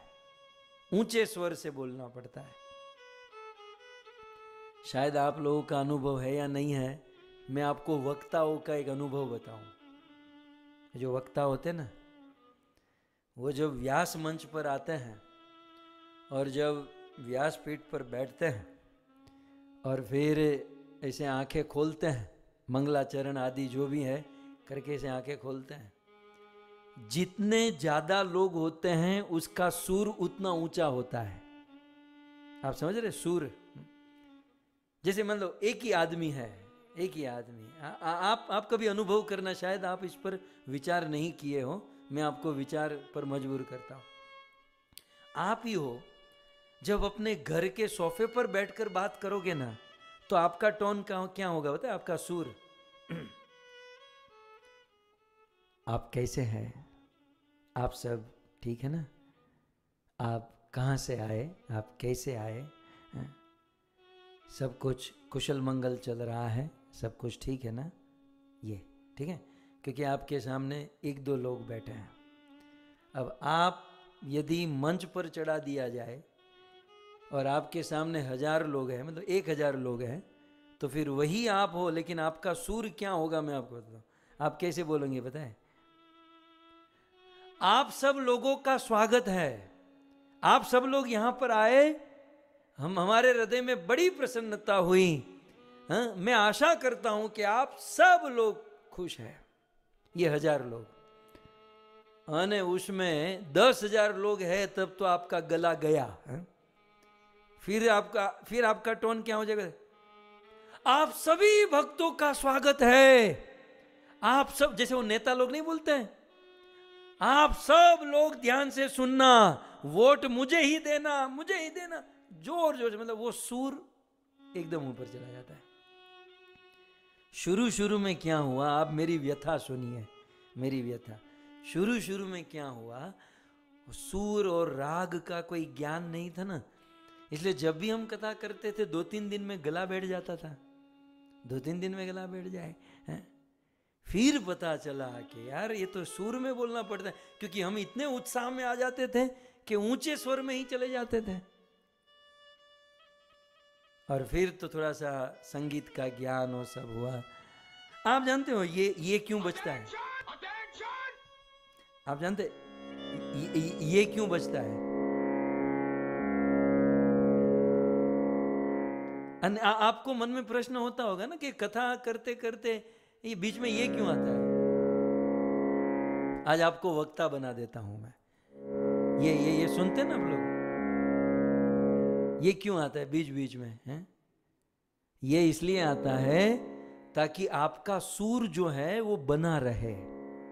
आपका सूर आपका गला बंधा रहे, हैं? यदि आप सूर आगे पीछे कर देते हो तो सुनने वाले को आप कौवे जैसे कर्कश लगते हो। जो जो आप नहीं जानते हो, सुनने वाला जानता है। तो अपने आप को सूर में रखने के लिए ये स्वर मंडल या तानपुरा ये हारमोनियम सूर में पकड़ कर रखता है। समझ रहे हैं? लेकिन कुछ वक्ता कैसे जानते हैं? जो लोग केवल अनुकरण करना ही जानते हैं, बस उसको बस केवल कथा चुराना जो जानते हैं ना, वो ये ये म्यूज़िक तो बजाते हैं, लेकिन ये म्यूज़िक बजाने के पीछे क्या कारण है, ये नहीं जानते एक्चुअली ये सुर होता है, इस सुर से आपका गला जो है चाहे एक आदमी बैठा हो, दस बैठा हो, पचास बैठा हो, करोड़ बैठे हो। आप लाल गोविंद की कोई भी कथा उठाकर देख लेना। चाहे जूम प्लेटफॉर्म पर हो या समाज में हो, कहीं भी हो, केवल एक ही सुर में चलेगी सी शाप सुर कौन सा है? काली एक सी शार्प में चलेगा। परंतु यदि अभ्यास न हो तो ऐसा नहीं होता। बंदों की तरह जितने ज़्यादा लोग होंगे, आपका उतना सुर बढ़ते जाएगा। कभी कभार आदमी को जगाने के लिए या फिर कोई नरसिंह अवतार या कोई अवतार के लिए अपने सूर को ऊपर लेकर जाना, ये सूर की भी बड़ी लीला होती है। भागवत कथा जब होती है तो केवल कंटेंट, केवल ज्ञान यही नहीं होता, उसके पीछे थोड़ा सा राग रागिणी सूर का भी एक लीला चलती है। यदि ये सारी चीज़ साथ में हो तो ओवरऑल आनंद आता है बस। बाकी और कुछ नहीं है। तो मैं ये कह रहा हूँ कि कृष्णदास कविराज गोस्वामी, जब ये श्लोक, ये दूसरा श्लोक त्रिनादपि सुनी चेन्नई सॉरी तीसरा श्लोक बोल रहे थे, उसके पहले उनका सूर ऊँचा चला गया। और उर्दू बाहु दोनों हाथ ऊपर करके ऊँचे स्वर से बोले। कारण वे सबको सुनाना चाहते थे, सबको बताना चाहते थे। और कृष्णदास कविराज गोस्वामी ने शिक्षा अष्टकम के इस तीसरे श्लोक के विषय में क्या कहा? तो दूसरी लाइन में आप नीचे देखिए। बोले, नाम सूत्रे गांधी पर कंठे यही श्लोक। नाम रूपी सूत्र में इस श्लोक को गांठ मारकर गले में पहन लो। शिक्षा अष्टकम का ये श्लोक जो है, ऊपर वाला, उसको नाम रूपी सूत्र में गांठ मारकर कंठे अपने गले में धारण कर लो।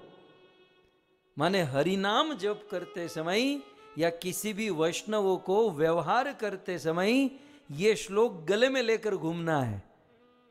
मतलब इस श्लोक से कभी गिरना नहीं है त्रिनादपि सुनी चेन तरोरपि सहिष्णुना, अमानीन मान देन कीर्तनीय सदारी मैं विचार करूँ कि कृष्णदास कविराज गोस्वामी ने ऐसा क्यों कहा कि नाम रूपी सूत्र में गांठ मार के गले में धारण कर लो क्योंकि हम लोग वैष्णव तो बहुत महान है, लेकिन कभी कभी हम लोग चूक जाते हैं? त्रिनाद अपी सुनी चेन हमको तृण से भी अधिक विनम्र बनना है लेकिन कभी कभी किसी के साथ झगड़ा होता है। कभी कभी किसी के साथ मन भेद मतभेद बोलाचाली हो जाती है। हमने भी चूड़िया पहन कर नहीं रखी ड्यूटी है तो क्या हो गया? हैं, फिर हम आ जाते हैं अपने पुराने हैं, स्वरूप में। इसलिए कहते हैं गले में पहन कर रखो। भक्त को सदैव इस बात का स्मरण होते रहना चाहिए। कि अपने आप को तृण से भी अधिक विनम्र रखना है। तृण से भी अधिक विनम्र है। मुझे एक, एक, तत्कालीन एक कथा याद आ रही है। मैं सुना ही देता हूँ बाद में मैं भूल जाऊँगा। हाँ। हमारे गुजरात में गुजरात में भी खास करके कच्छ में कच्छ जाने कच्छ भुज हैं। हमारी कथा में भी कच्छ से भी बहुत सारे लोग होंगे। वहाँ पर एक बहुत बड़े संत हुए। पहले तो वो क्षत्रिय थे। चोरी करते थे, डाका डालते थे, जैसल जाडेजा। और वो जाडेजा बापू जैसल जब वो डिवोटी बन गए, भक्त बन गए। और फिर सती साध्वी नारी तोरल के शिष्य बन गए। और उस तोरल की सेवा करते थे। लेकिन गुरुजी स्त्री के शरीर में थे, स्त्री थी। तो एक बार उस आदमी की परीक्षा करने के लिए तोरल ने उस क्षत्रिय जैसल जाडेजा को अपनी साड़ी अपने वस्त्र ये सब कुछ दिया और कहा कि जाओ नदी के किनारे इसको धोकर आओ। और वह जैसल जाडेजा लाखों को मौत के घाट उतारने वाला आदमी जिसके नाम से हम्म, પૂરા કચ્છ કાંપતા થા. હું આ બોલું ને, મને પેલો અરવિંદ ત્રિવેદી મારી સામે આવે, હે? આપણે તો ફિલ્મ જોયેલા ને, હે? આમ આમ ફિલ્મની એન્ટ્રી કેવી રીતે ગુજરાતી છે? અચ્છા, હા બહુ સારે લોક બેઠે. આમ એન્ટ્રી કેવી થાય? કચ્છનો કાળો નાગ, એટલે જેસલ જાડેજા, આમ હાથમાં તલવાર લઈને કચ્છનો કાળો નાગ, એટલે જેસલ જાડેજા ઈસ પ્રકાર સે તો ઉનકી એન્ટ્રી હોતી થી और फिर जो धमासान करता था हाँ?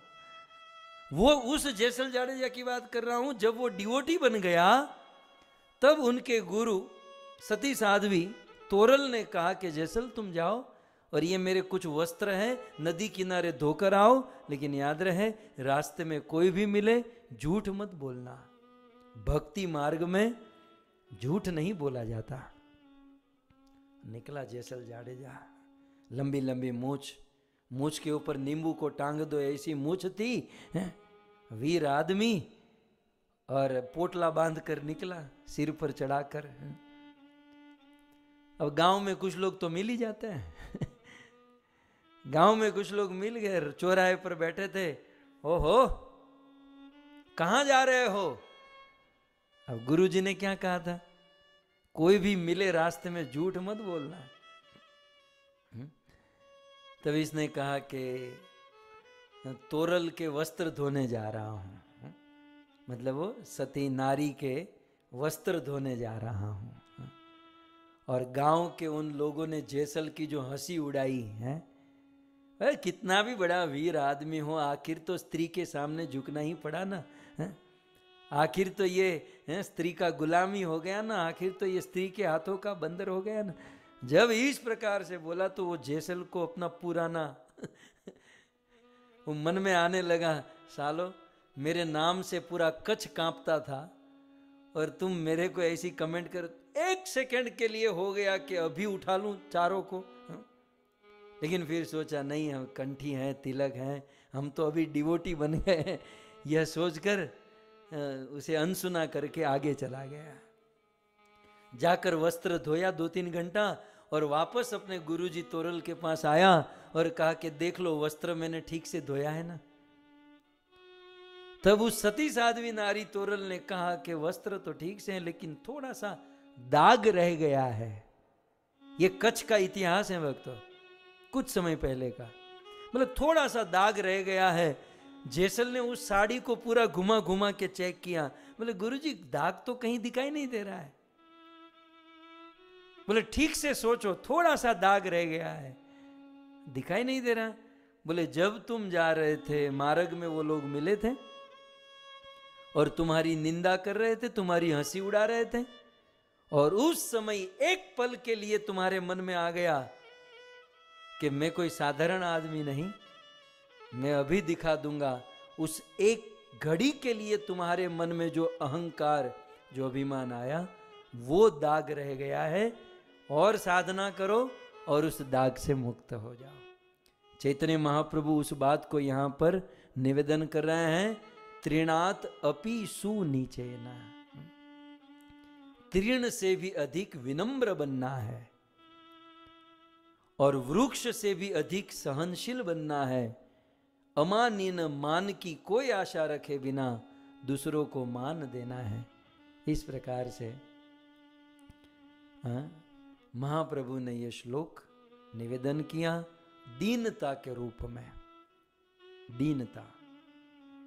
चैतन्य महाप्रभु ने इस श्लोक में दीनता व्यक्त की। तो सबसे पहले तो यह श्लोक महाप्रभु के द्वारा बोला गया। महाप्रभु के अपने जीवन में कितनी दीनता, आप विचार करो। महाप्रभु जो स्वयं कृष्ण, राधा रानी का भाव लेकर आए और कुछ लोग उनको समझ गए, उनके ऐश्वर्य को जान गए तो कहते थे कि ये तो भगवान है तो महाप्रभु उसे मना कर दे, मुझे कोई भगवान मत कहना। फिर भी लोग भगवान कहते थे, महाप्रभु अपने कान में उंगली रख देते थे। फिर भी श्री चैतन्य महाप्रभु की कोई प्रशंसा करता था तो महाप्रभु कूद कर नदी में गिर जाते थे। नदी में कूद जाते थे। अपने आप को इतना दीनहीन बनाकर रख। भजन करने वाले को अपने आप को दीनहीन समझना होगा। अपने आप को दीनहीन बनाकर रखना होगा। अपने आप को विनम्र रखना होगा। जब तक विनम्रता नहीं आएगी, हम निर्विघ्न रूप से कीर्तन नहीं कर सकते। हम निर्विघ्न रूप से निरंतर भगवान का भजन नहीं कर सकते। जैसे उन्होंने पूछा था ना कि ये मैं जीवन भर भक्ति कर पाऊँगा, अवश्य कर पाओगे, यदि जीवन में विनम्रता रहेगी? विनम्रता रहेगी, सहनशीलता रहेगी, स्वयं मान की आशा न रखकर दूसरों को मान देने की भावना रहेगी, तब तो अवश्य हम सदा हरि कीर्तन कर पाएँगे? अब श्री चैतन्य महाप्रभु, इसी दीनता की बात श्री रूप गोस्वामी को करते हैं। रूप गोस्वामी, वो भी साक्षात दीनता की मूर्ति है। ये पूरा श्लोक दीनता के ऊपर है। रूप शिक्षा में रूप गोस्वामी को जब ये बात बताई, उसी समय की ये बात है कि रूप गोस्वामी वैसे तो मंत्री थे। राजा हुसैन शाह के वहाँ मंत्री के पद पर थे। आजकल मंत्रियों के कितने बड़े नाटक होते हैं हैं? मंत्रियों का क्या तामजाम होता है? लेकिन वे रूप गोस्वामी अपना सब कुछ छोड़ छाड़ कर श्री चैतन्य महाप्रभु के पास पहुँचे, हैं? महाप्रभु रूप गोस्वामी को अपने गले लगाना चाहते थे। दब्बिर खास, साकर मलिक, उनका तो नाम भी बदल गया था, रूप और सनातन का। तब वो कहते थे, हम तो बहुत बड़े पापी हैं, महाप्रभु, आप हम में स्पर्श मत कीजिए। नहीं नहीं, मैं आपको गले मिलना चाहता हूँ। बोले, नहीं नहीं, हम बहुत बड़े पापी हैं, राजा के वहाँ नौकरी करते हैं और न जाने क्या क्या हम लोग अत्याचार करते हैं। अब महाप्रभु रूप गोस्वामी को गले मिलना चाहते हैं और ये दूर भाग रहे हैं। तब उनकी विनम्रता को देखकर श्री चैतन्य महाप्रभु कहते हैं दैन्य छाड़ी तोहार दैन्य फाटे मोर मन। आज है ते तोहार नाम रूप सनातन। तुम दबीर खास नहीं, साकर मल्लिक नहीं, आज से तुम मेरे शिष्य हो। तुम्हारा नाम रूप और तुम्हारा नाम सनातन। विनम्रता, दैन्यता, श्री चैतन्य महाप्रभु की करुणा, कृपा वही प्राप्त कर पाएगा, जिसके जीवन, जिस भक्त के जीवन में दैन्यता रहेगी, विनम्रता रहेगी। विनम्रता रहेगी।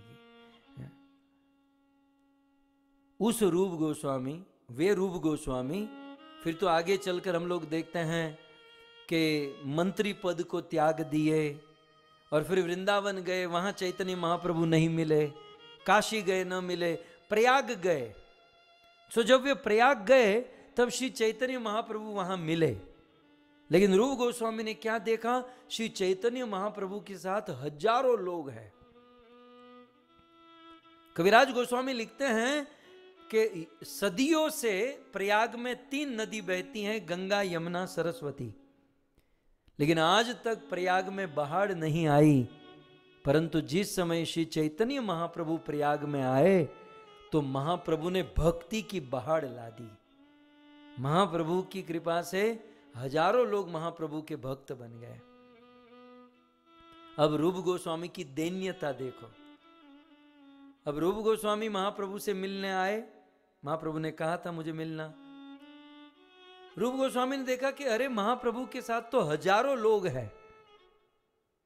अभी यदि मैं महाप्रभु से मिलूँगा तो महाप्रभु मुझे गले मिलेंगे और महाप्रभु गले मिलेंगे तो ये हज़ारों लोग क्या सोचेंगे कि ये रूप गोस्वामी कोई बड़ा आदमी है। इसलिए रूप गोस्वामी किसी झाड़ के पेड़ के पीछे छिपकर महाप्रभु का दर्शन एवं प्रणाम कर लिए, सबके सामने प्रकट नहीं हुए एक पल के लिए अपने आप को सोच लो, यदि हम होते तो जानबूझ के सबके बीच में पूरी भीड़ को चीर कर, भागवत कथा को डिस्टर्ब करके ऐसा हमारे साथ बहुत होता हैं? रसमयी फ़िज़िकल कथाओं में सब सब लोग शराबोर हैं और उसमें से कोई बीच में से कोई आता है, हैं? अरे भाई सब लोग भगवत चिंतन में है तो उस समय चुपचाप आपके कहीं पीछे बैठ जाना चाहिए।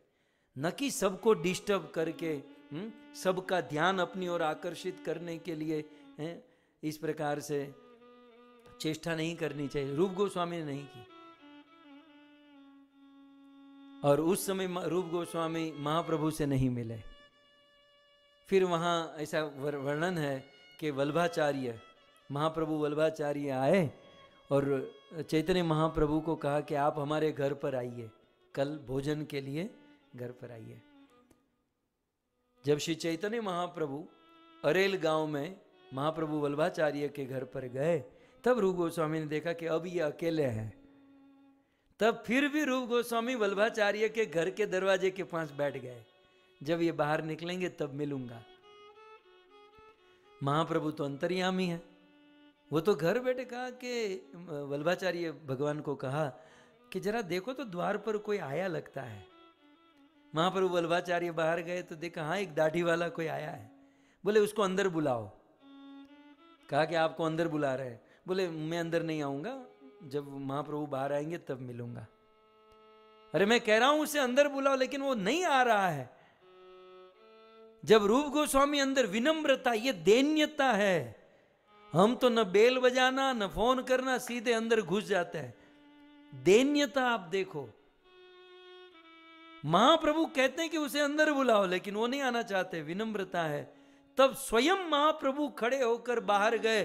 अरे रूप, तुम आए हो। महाप्रभु गले मिलने गए तो ये पीछे भाग रहे हैं। अरे नहीं नहीं, मुझे स्पर्श मत करो, मेरे जैसा पापी कोई नहीं है। तब वल्भाचार्य भगवान देखते रह गए। बोले, ये क्या है कि पूरी दुनिया आपको गले मिलना चाहती है और ये बंदा, आप उसको गले मिलने जा रहे हो तो आपसे दूर भाग रहा है। तब श्री चैतन्य महाप्रभु ने वल्भाचार्य भगवान को कहा कि ये विनम्रता है, ये दीनता है। महाप्रभु वल्भाचार्य ये हमारे गौड़ीय संप्रदाय का आभूषण है। हमारे गौड़ीय संप्रदाय की ये नींव है विनम्रता। और ये बात सत्य है इस गौड़ीय संप्रदाय में आप जो विनम्रता देखोगे जो पाओगे वो अन्य कहीं नहीं पाओगे। हम्म? और फिर हाँ फिर वहीं पर श्री चैतन्य महाप्रभु रूप गोस्वामी से मिले भोजन आदि करके श्री चैतन्य महाप्रभु रूप गोस्वामी को प्रयाग में दस अश्वमेघ घाट पर ले गए। और दस दिन तक महाप्रभु ने रूप गोस्वामी को प्रवचन किया। और प्रवचन करते हुए उसका एक पाठ मैंने कल आपको कहा था, लेकिन एक दो श्लोक आपको बताऊँ, क्योंकि आज के इस श्लोक से मिलान होता है। श्री चैतन्य महाप्रभु ने रूप गोस्वामी से कहा, यदि वैष्णव अपराध, उठे हाथी माता। माता माने मतवाला हाथी। हाथी माता, मतवाला हाथी। सो नाम अपराध या वैष्णव अपराध पागल हाथी के समान है। और वो पागल हाथी माने वो अपराध उपाडेवा, छिंडे तार शुकी जाय पाता। सो अपराध रूपी हाथी हमारी भक्ति को सुखा देता है। हमारी भक्ति को उखाड़कर फेंक देता है। ठीक है? तो ये तो अपराध की बात कल आपने सुनी। लेकिन नीचे बहुत सुंदर कह रहे हैं, ताते ताते इसलिए माली, माने डिवोटी, ताते माली यत्न करी करे आवरण। कोई हाथी, कोई पशु पक्षी किसी लता को नष्ट न कर दे, इसलिए माली क्या करता है? वो गार्डनर क्या करता है? वो आवरण कर देता है फेंसिंग कर देता है फेंस बना देता है है ना? तो उस पेड़ पौधे के आजू बाजू में फेंस के कारण कोई पशु पक्षी उसे सुखा नहीं सकता, उखाड़ नहीं सकता। तो एक लता को बचाने के लिए माली फेंस बनाता है तो डिवोटी को भी उस नाम अपराध से बचने के लिए फेंस बनानी चाहिए। और वो क्या है? अपराध हस्ती जैसे ना हई उद्गम अच्छा तो नाम अपराध, वैष्णव अपराध से बचने के लिए वो फैंस क्या है? तो आगे कहते हैं, ये श्लोक बड़ा ज़बरदस्त श्लोक है।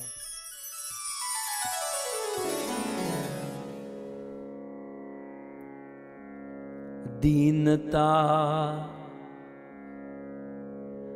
दीनता मान ये तादी। शिला कल्पत महावृति भक्ति कल्पनरी भी पालिया भक्ति कल्पनरी भी पालिया श्रवणा द्या अंबुरोचने नाम अपराध से बचने के लिए वो फैंस क्या है? दीनता। वो श्लोक नहीं है, लेकिन आप लोग मन में ही सोच लीजिए, वो श्लोक में लिखा है दीनता। हरि नाम के प्रति अपराध है से बचने के लिए भक्त को जीवन में दीनता लानी चाहिए। और यदि दीनता है तो वो फैंस कैसी होगी? बोले, शिला पक्व। एक पकी हुई ज़बरदस्त पत्थर की फेंस बन जाएगी। हाथी क्या? हाथी का बाप भी आए तो उसे तोड़ नहीं पाएगा।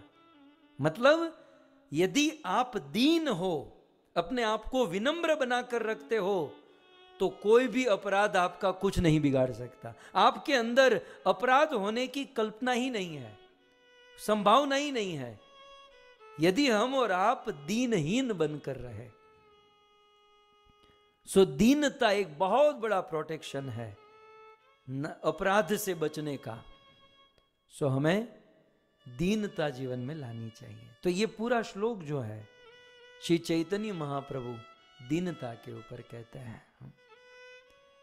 दीनता स्वयं को अत्यंत अयोग्य और असमर्थ मानना, ये दीनता है। एक आचार्य ने क्या कहा? ये भी मुझे याद ही आ रहा है, मैं सब भूल जाऊँगा बाद में। दीनता के बारे में क्या आपको पता है? आपने कभी लोन लिया है? लोन आपने कभी लोन लिया? सुनो प्रैक्टिकल एग्ज़ाम्पल वो आचार्य ने कितने साल पहले ग्रंथ लिखा होगा, लेकिन वो, हम कलयुग में देखते हैं कि ऐसा होता है। वो तो ऋण लिखे, ऋण माने लोन बोले लोन लेने के लिए मतलब आपको आप कोई हाउस खरीद रहे हो राइट तो आपको मान लो सेवेंटी परसेंट लोन मिल जाती है, सेवेंटी, एटी परसेंट। लेकिन ट्वेंटी परसेंट तो आपके खाते में होना चाहिए, है ना? ट्वेंटी, थर्टी परसेंट तो आपके पास होना चाहिए, तब जाकर कोई बैंक कोई कंपनी आपको लोन देती है। लेकिन आपके पास वो ट्वेंटी परसेंट भी नहीं है। बरोबर? मार्केट का रूल ये है कि आपके पास 20-30 परसेंट पैसे होंगे जो मकान खरीद रहे हो 20-30 परसेंट हो गए तो लोन मिलेगी लेकिन आपके पास वो भी नहीं है और फिर भी आपको घर लेना है, और फिर जो चेहरा बनाकर उस कंपनी, उस बैंक वाले के पास जाते हैं हम्म?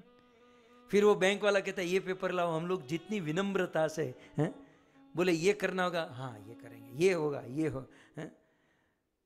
मतलब उस समय हम, हमारी जो स्थिति हो जाती है ना, वो है विनम्रता, वो है दीनता? आपके पास मूल शेष राशि भी नहीं है और फिर भी हम बिना कैपेसिटीज के दूसरे से लोन लेना चाहते हैं और उस समय जो लोन देने बैठा है और उसके सामने जो हम दीन बनकर बैठे होते हैं मारो तो खून भी ना निकले मतलब ऐसा चेहरा करके हम जो बैठे होते हैं, इसे कहते हैं दीनता। इसे कहते हैं दीनता। तब मानो स्वरूप दामोदर और राय रामानंद ने पूछा होगा कि हाँ आप महाप्रभु बोल तो रहे हो कि भक्तों को दीन होना चाहिए, विनम्र दीनहीन होना चाहिए, लेकिन उसके लिए एग्ज़ाम्पल तो दो। दीनता के कुछ एग्ज़ाम्पल तो दो। तब श्री चैतन्य महाप्रभु, चार प्रकार की दीनता और दो एग्ज़ाम्पल देते हुए शिक्षा अष्टकम का यह तीसरे श्लोक का उच्चारण करते हैं। तृणादपि चेन, तरोरपि सहिष्णुना मान मानदेन कीर्तनीय सदा हरि। इस श्लोक में दीनता के चार स्वरूप, माने विनम्रता, सहनशीलता, मान की आशा न रखना और दूसरों को मान देना, ये दीनता के चार स्वरूप है। और दो एग्ज़ाम्पल तृण का और वृक्ष का।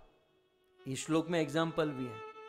तो महाप्रभु दीनता का स्वरूप और एग्ज़ाम्पल इस श्लोक में बताते हैं। सबसे पहले दीनता की डेफिनेशन क्या है? ये समझे। मतलब एग्जैक्ट जब तक हमको डेफिनेशन नहीं पता होगा तो जीवन में आचरण कैसे करेंगे? सो डेफिनेशन पता होनी चाहिए। ज़बरदस्त डेफिनेशन श्री सनातन गोस्वामी दे रहे हैं। श्री सनातन गोस्वामी ने एक बहुत सुंदर ग्रंथ लिखा, बृहद भागवतम। बृहद भागवतामृत। सो बृहद भागवतामृत के दूसरे स्कंद के पाँचवें अध्याय के टू टू टू, दो सौ बाईस और दो सौ तेईसवें नंबर के श्लोक में सनातन गोस्वामी कहते हैं। ये क्या है? दीनता की डेफिनेशन। दीनता किसे कहते हैं? कई बार हम लोग क्या सोचते हैं अ, किसी बेचारे गरीब आदमी को देखकर भोले को देखकर हम लोग ये दीनहीन है। वो दीनहीन नहीं है उसके पास कुछ है ही नहीं। उसके पास कुछ होगा तो कुछ बोलेगा। न बोलना आता है न जेब में पैसा है न कोई कैपेसिटी है तो वो तो स्वाभाविक ही ऐसा है ना? दीन किसे कहते हैं? सर्व सामर्थ्य होकर भी अपने आप को विनम्र बनाकर रखना। आपके अंदर पूरा ज्ञान है। आपके पास धन की कोई कमी नहीं। आपके पास किसी भी शक्ति, सामर्थ्य की कोई कमी नहीं है। लेकिन फिर भी अपने आप को तीर्ण से भी अधिक नीचा समझना यह सच्ची दीनता है। अब हमारे पास कुछ है ही नहीं तो हम बोलेंगे तो क्या बोलेंगे, बताइए। करेंगे तो क्या करेंगे? आपके पास ऑलरेडी कुछ शक्ति, सामर्थ्य है ही नहीं तो कर भी क्या पाओगे आप? वो दीनता नहीं है। सर्व समर्थ होकर भी अपने आप को विनम्र बनाकर रखना, ये सच्ची दीनता है। हम्म? वो एग्ज़ाम्पल देते ना आपकी शादी हो गई? नहीं नहीं, मैं ब्रह्मचारी हूँ। तू ब्रह्मचारी है? तुझे कोई लड़की दे नहीं रहा है, ऐसा बोल। यदि कोई लड़की देता तो अब तक पाँच शादी कर लिया होता हाँ? तो वो ब्रह्मचारी नहीं कहा जाएगा। कह समझ रहे ना आप? दीनता माने जैसे वो रास्ते में वो वो, वो भिक्षुक नहीं होते हैं वो भिखारी लोग नहीं होते हैं हैं? दोनों हाथ जोड़कर कुछ दे दो कुछ दे दो। उसके पास कुछ नहीं है इसलिए वो कर रहा है। सर्व समर्थ सब कुछ होकर भी विनम्र बनना ये बड़ी बात होती है। श्रीमद भागवत जी में ऐसे चरित्र भरे हुए हैं। महाराज परीक्षित सर्व समर्थ होकर भी उस हैं, समी के पुत्र श्रृंगी के सामने झुक गए। बाकी श्रृंगी क्या था परीक्षित के लिए? एक इशारा करते श्रृंगी समीक सब आउट हो जाते। परीक्षित का श्राप भी आउट हो जाता। लेकिन सर्व समर्थ परीक्षित उस श्रृंगी के सामने झुक गए। सर्व समर्थ महाराज चित्रकेतु माँ भवानी पार्वती के सामने झुक गए। ये बात होती है विनम्रता की। और मैं तो कहूँगा ये विनम्रता दीनता को दुनिया वाले तो समझ ही नहीं पाएँगे। हम लोग महाप्रभु के इन सिद्धांत के चलते थोड़े बहुत विनम्र दीनता का प्रयास करते हैं तो दुनिया वाले समझते बस ये तो लल्लू पंजू है, है इसमें से है?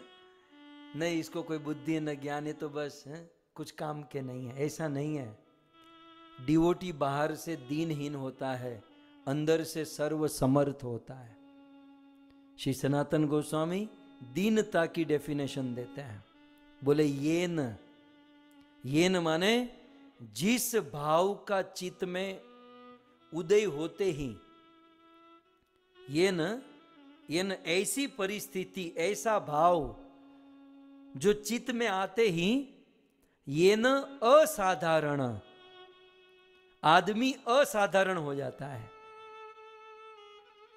और समर्थ, अशक्ता माने असमर्थ हो जाता है। आदमी असाधारण हो जाता है, असमर्थ हो जाता है, अधम, आदमी अधम के समान हो जाता है। सो इस प्रकार से सदात्मनी, माने अपने अंदर ये सब कुछ होते, समर्थ होते हुए भी असमर्थ, बुद्धिमान होते हुए भी अबुद्धि वाला।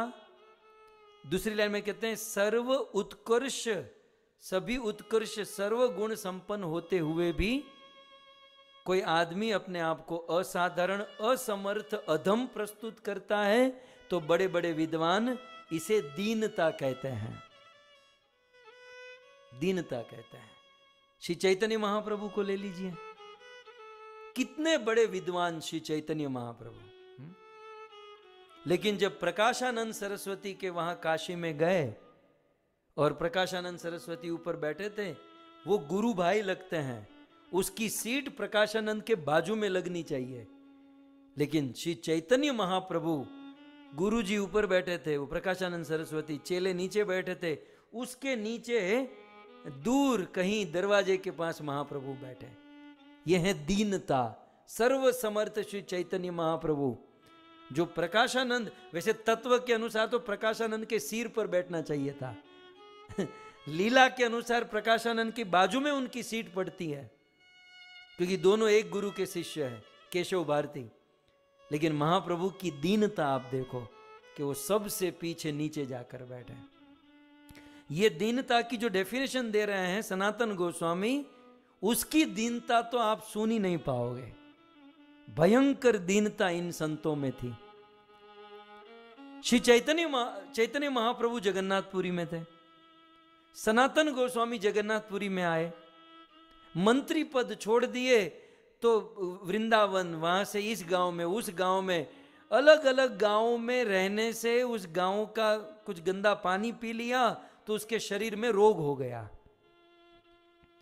सनातन गोस्वामी के शरीर में चमड़ी का रोग हुआ और उनको वहाँ, शरीर में कीड़े पड़ने लगे। वहाँ जहाँ रोग होता, उस चमड़ी वहाँ ये हो जाती, खून, पस निकलता था और वहाँ कीड़े आ जाते थे। और कीड़े उनके हाथ से गिर जाते हैं, उनकी दीनता देखो, उस कीड़े को नीचे उठ नीचे से उठाकर फिर से रख देते। अरे, रे रे रे, कीड़े, तेरा खाना पीना छूट गया। उस कीड़े को उठाकर अपने शरीर में रख देते। ये विनम्रता थी सनातन गोस्वामी में।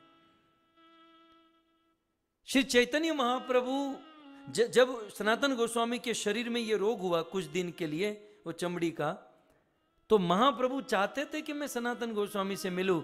ये जानबूझकर महाप्रभु के पास नहीं जाते थे। बोले, मैं महाप्रभु के पास जाऊँगा, वो गले मिलेंगे और मुझे ये रोग हुआ है। दीनता।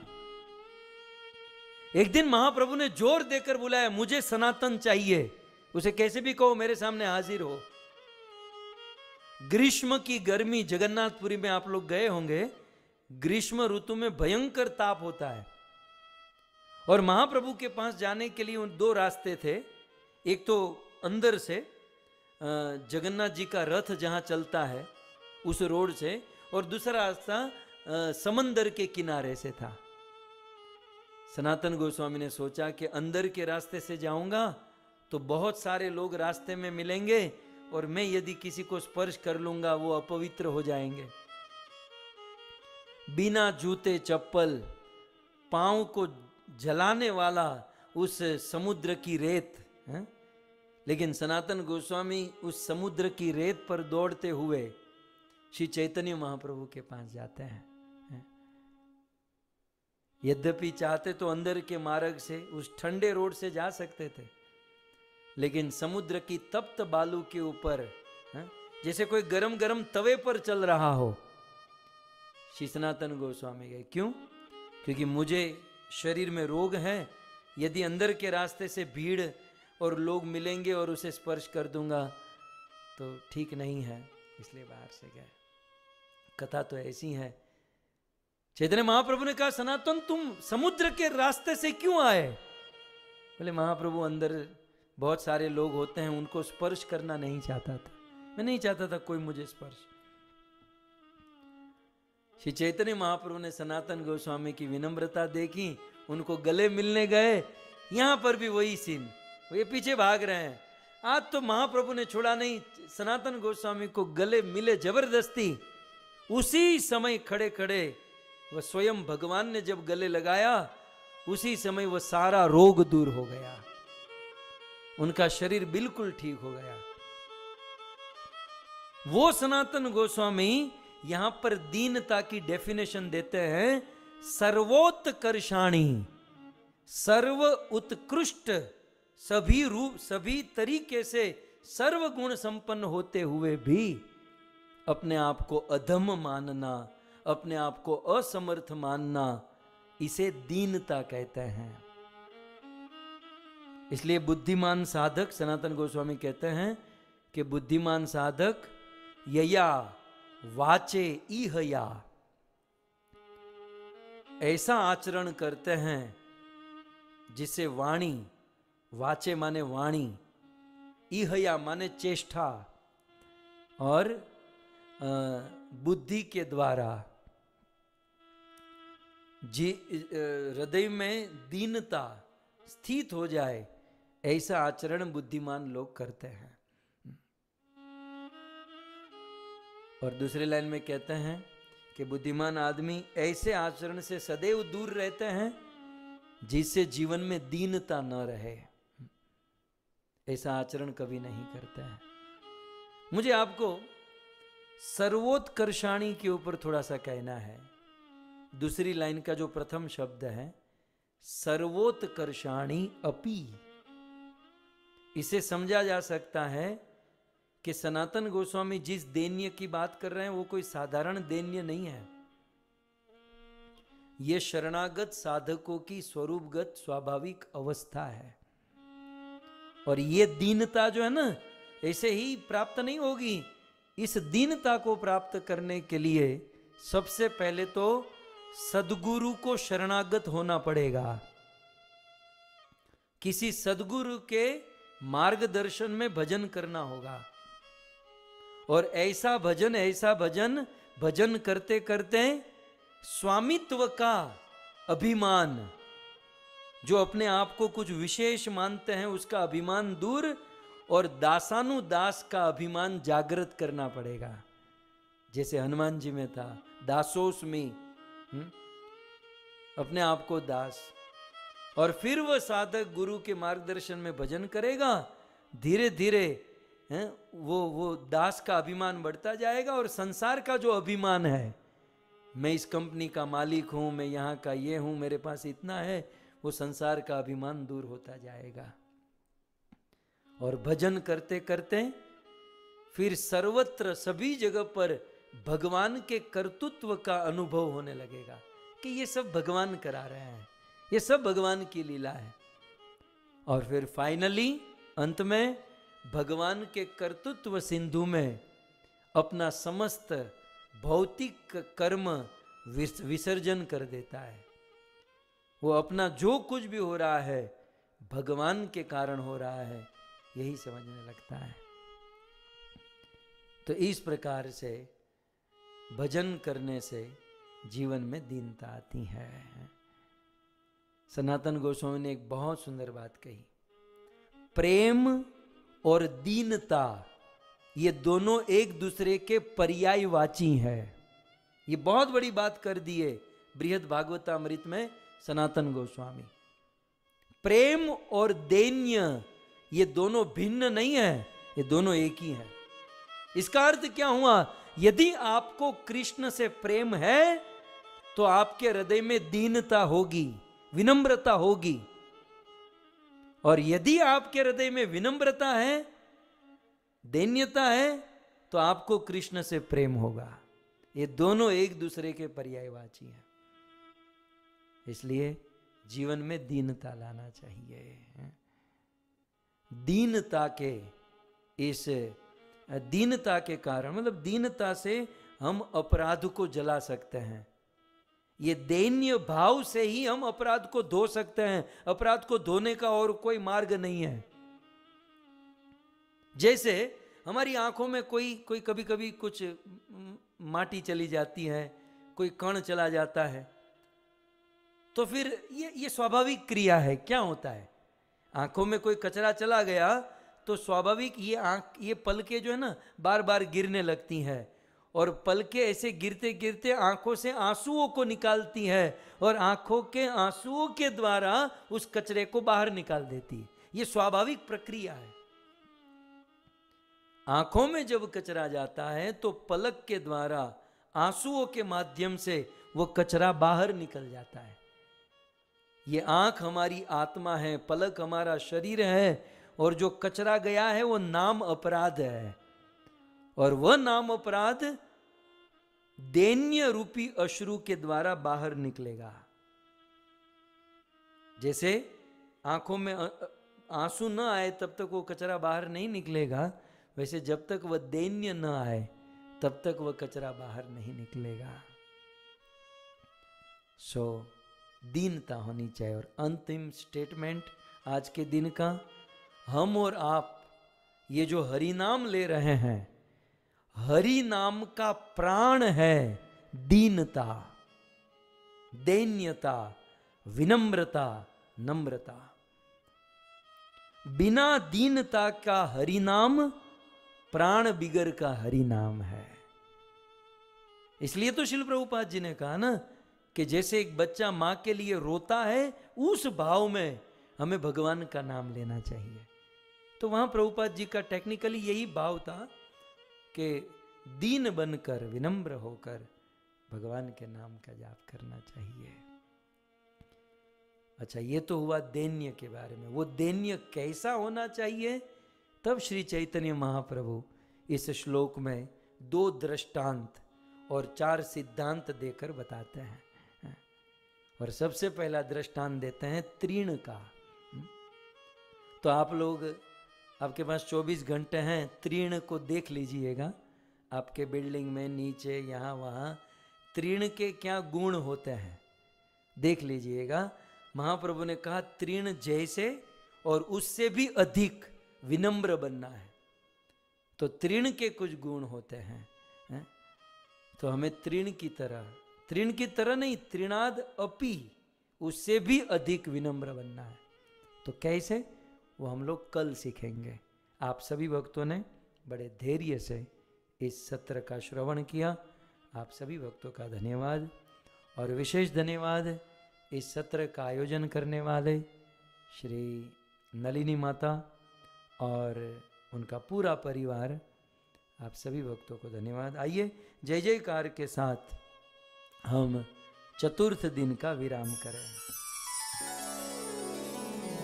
ग्रंथराज श्रीमद भागवतम महापुराण की श्री कृष्ण चंद्र भगवान की श्री चैतन्य शिक्षाष्टकम की जगत गुरु शिल प्रभुपाद की निताय गौर प्रेमानंद, जय जय श्री राधे, जय जय श्री राधे। जय जय श्री राधे।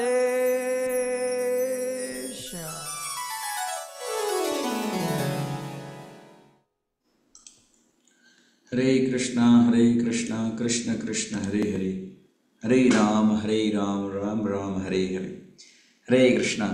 तो पुनः एक बार फिर से हृदय से धन्यवाद श्रीमान लालगुन प्रभु जी का कि यह पंचम दिवस की कथा में बहुत ही सुंदर महाप्रभु जिस दैन्यता का वर्णन कर रहे हैं त्रिनाथपी सुनी चेन थरोड़ी वशेषणा, जो हम निरंतर यदि हम भजन करना चाहते हैं, जो कि हम सब चाहते हैं कि ये भजन जो हम कर रहे हैं हरि नाम जप कर रहे हैं, उसको कंटिन्यूस कर सकते हैं और दिन ब दिन इसमें प्रोग्रेस कर सके, हमारी नम्रता बढ़ सके, या फिर ये जो हरि नाम में है और रुचि बढ़ती रहे, प्रेम बढ़ता रहे तो उसके लिए जो उपाय हैं, श्री चैतन्य महाप्रभु ने इस तृतीय श्लोक में बताया। और प्रभु जी ने उसका बहुत ही सुंदर वर्णन किया। जिसके लिए हम प्रभु जी के हृदय से आभारी हैं। महामंत्र उच्चारण करते हुए उनका अभिवादन करेंगे। हरे कृष्ण हरे कृष्ण कृष्ण कृष्ण, हरे हरे। हरे राम हरे राम राम राम, हरे हरे। और साथ ही साथ बहुत बहुत धन्यवाद। हम आभारी हैं हमारे इस पंचम दिवसीय सत्र के मनोरथी वैष्णव हमारे नलिनी माता और उनका पूरा परिवार, विशेष रूप से श्री श्री राधा गिरधारी जी। कि इन्होंने इस सत्र को आयोजित किया और इस सत्र में विशेष रूप से जो हमें यह श्रवण करने को मिला हरि नाम जप करने का कंटिन्यूस या फिर इसमें प्रोग्रेस करने का जो उपाय है, इस सत्र में श्रवण करने को मिला। तो इसके लिए हम हृदय से आभारी हैं माता जी के और गिरधारी जी के। एक बार महामंत्र उच्चारण करेंगे। हरे कृष्ण हरे कृष्ण कृष्ण कृष्ण, हरे हरे। हरे राम हरे राम राम राम, हरे हरे। तो आप सभी वैष्णव का भी धन्यवाद कि आप सब भी इस प्रकार यहाँ पर श्रवण करने हेतु उपस्थित रहें और इस सुंदर सत्र को हम सबके साथ में श्रवण किया। तो आने वाले दिनों में जैसे प्रभु जी ने बताया कि हमें कल थोड़ा होमवर्क करके आना है। We just have to look at the quality of blood of brass you know कैसा है, वो दिखता कैसा है और क्या उनका नेचर है। तो ये थोड़ा बहुत होमवर्क करते ले, कर लेते हैं। और उसके पूर्व हम आज एक बार श्री गौर आरती करेंगे, कीर्तन करेंगे और इस सत्र को फिर यहाँ पर विराम करेंगे। तो सभी भक्तों से निवेदन है अपने अपने स्थान पर खड़े हो जाएँगे। हरे कृष्ण हरे कृष्ण कृष्ण कृष्ण, हरे हरे। हरे राम हरे राम राम राम, हरे हरे।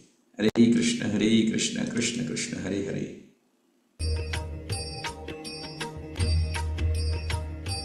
कि बजयो, जयो।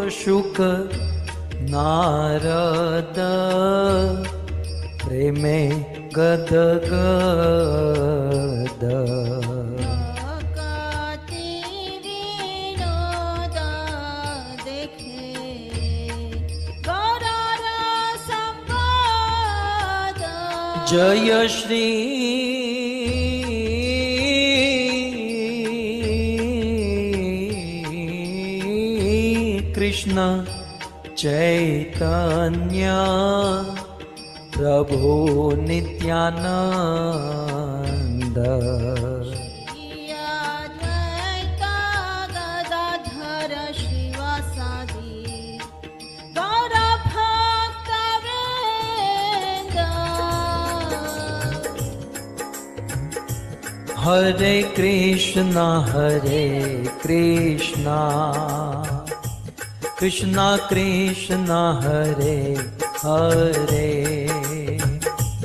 हरे राम हरे राम राम राम हरे हरे हरे कृष्णा हरे कृष्णा। कृष्णा हरे हरे हरे राम हरे राम। राम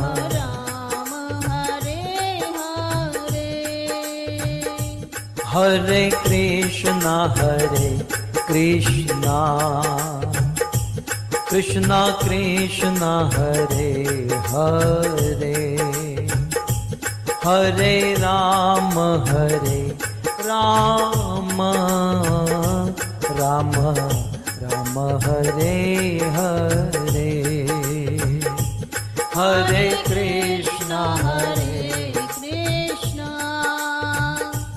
कृष्ण कृष्ण हरे। हरे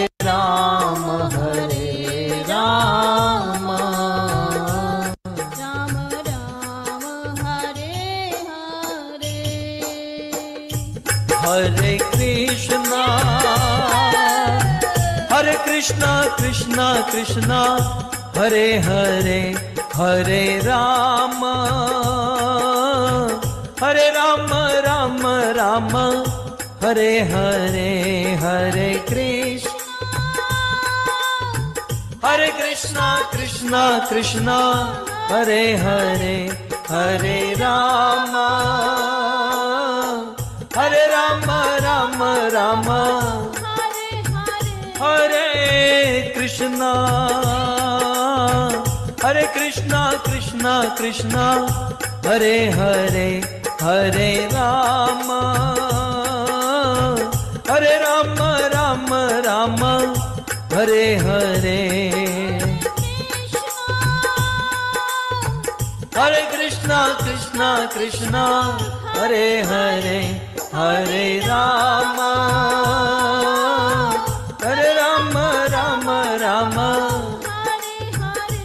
हरे कृष्णा हरे कृष्णा। कृष्णा कृष्णा हरे हरे। हरे राम हरे राम राम।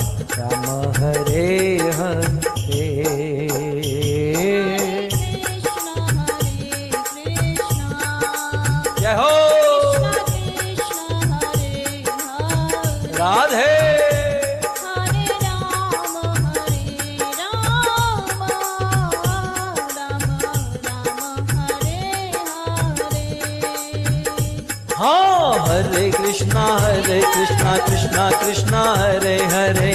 हरे राम हरे राम राम राम हरे हरे।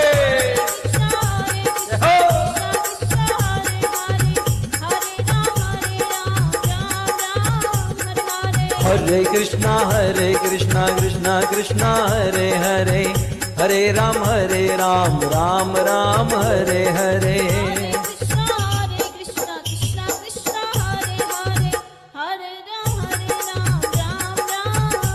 हरे कृष्णा हरे कृष्णा कृष्णा कृष्णा, हरे हरे हरे राम हरे राम राम राम, हरे हरे हरे कृष्णा, हरे हरे हरे राम हरे राम राम राम, हरे कृष्णा हरे कृष्णा कृष्णा कृष्णा। हरे हरे हरे राम। हरे राम राम राम। हरे हरे हरे कृष्णा। हो। हरे हरे हरे राम।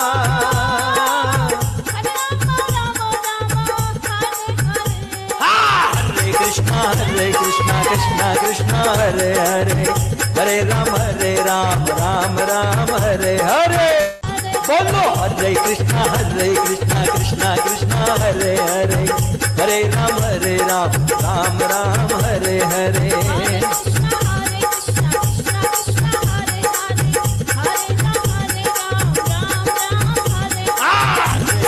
हरे कृष्णा कृष्णा कृष्णा, हरे हरे।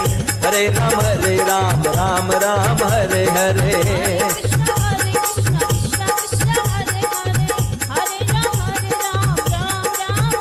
जय जय प्रभुपाद प्रभुपाद प्रभुपाद प्रभुपाद जय जय प्रभु।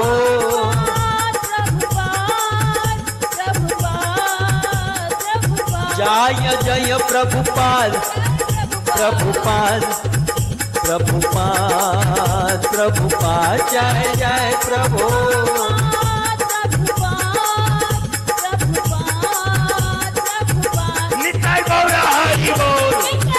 हरि बोल हरि बोल हरि बोल निताय गौर हरि।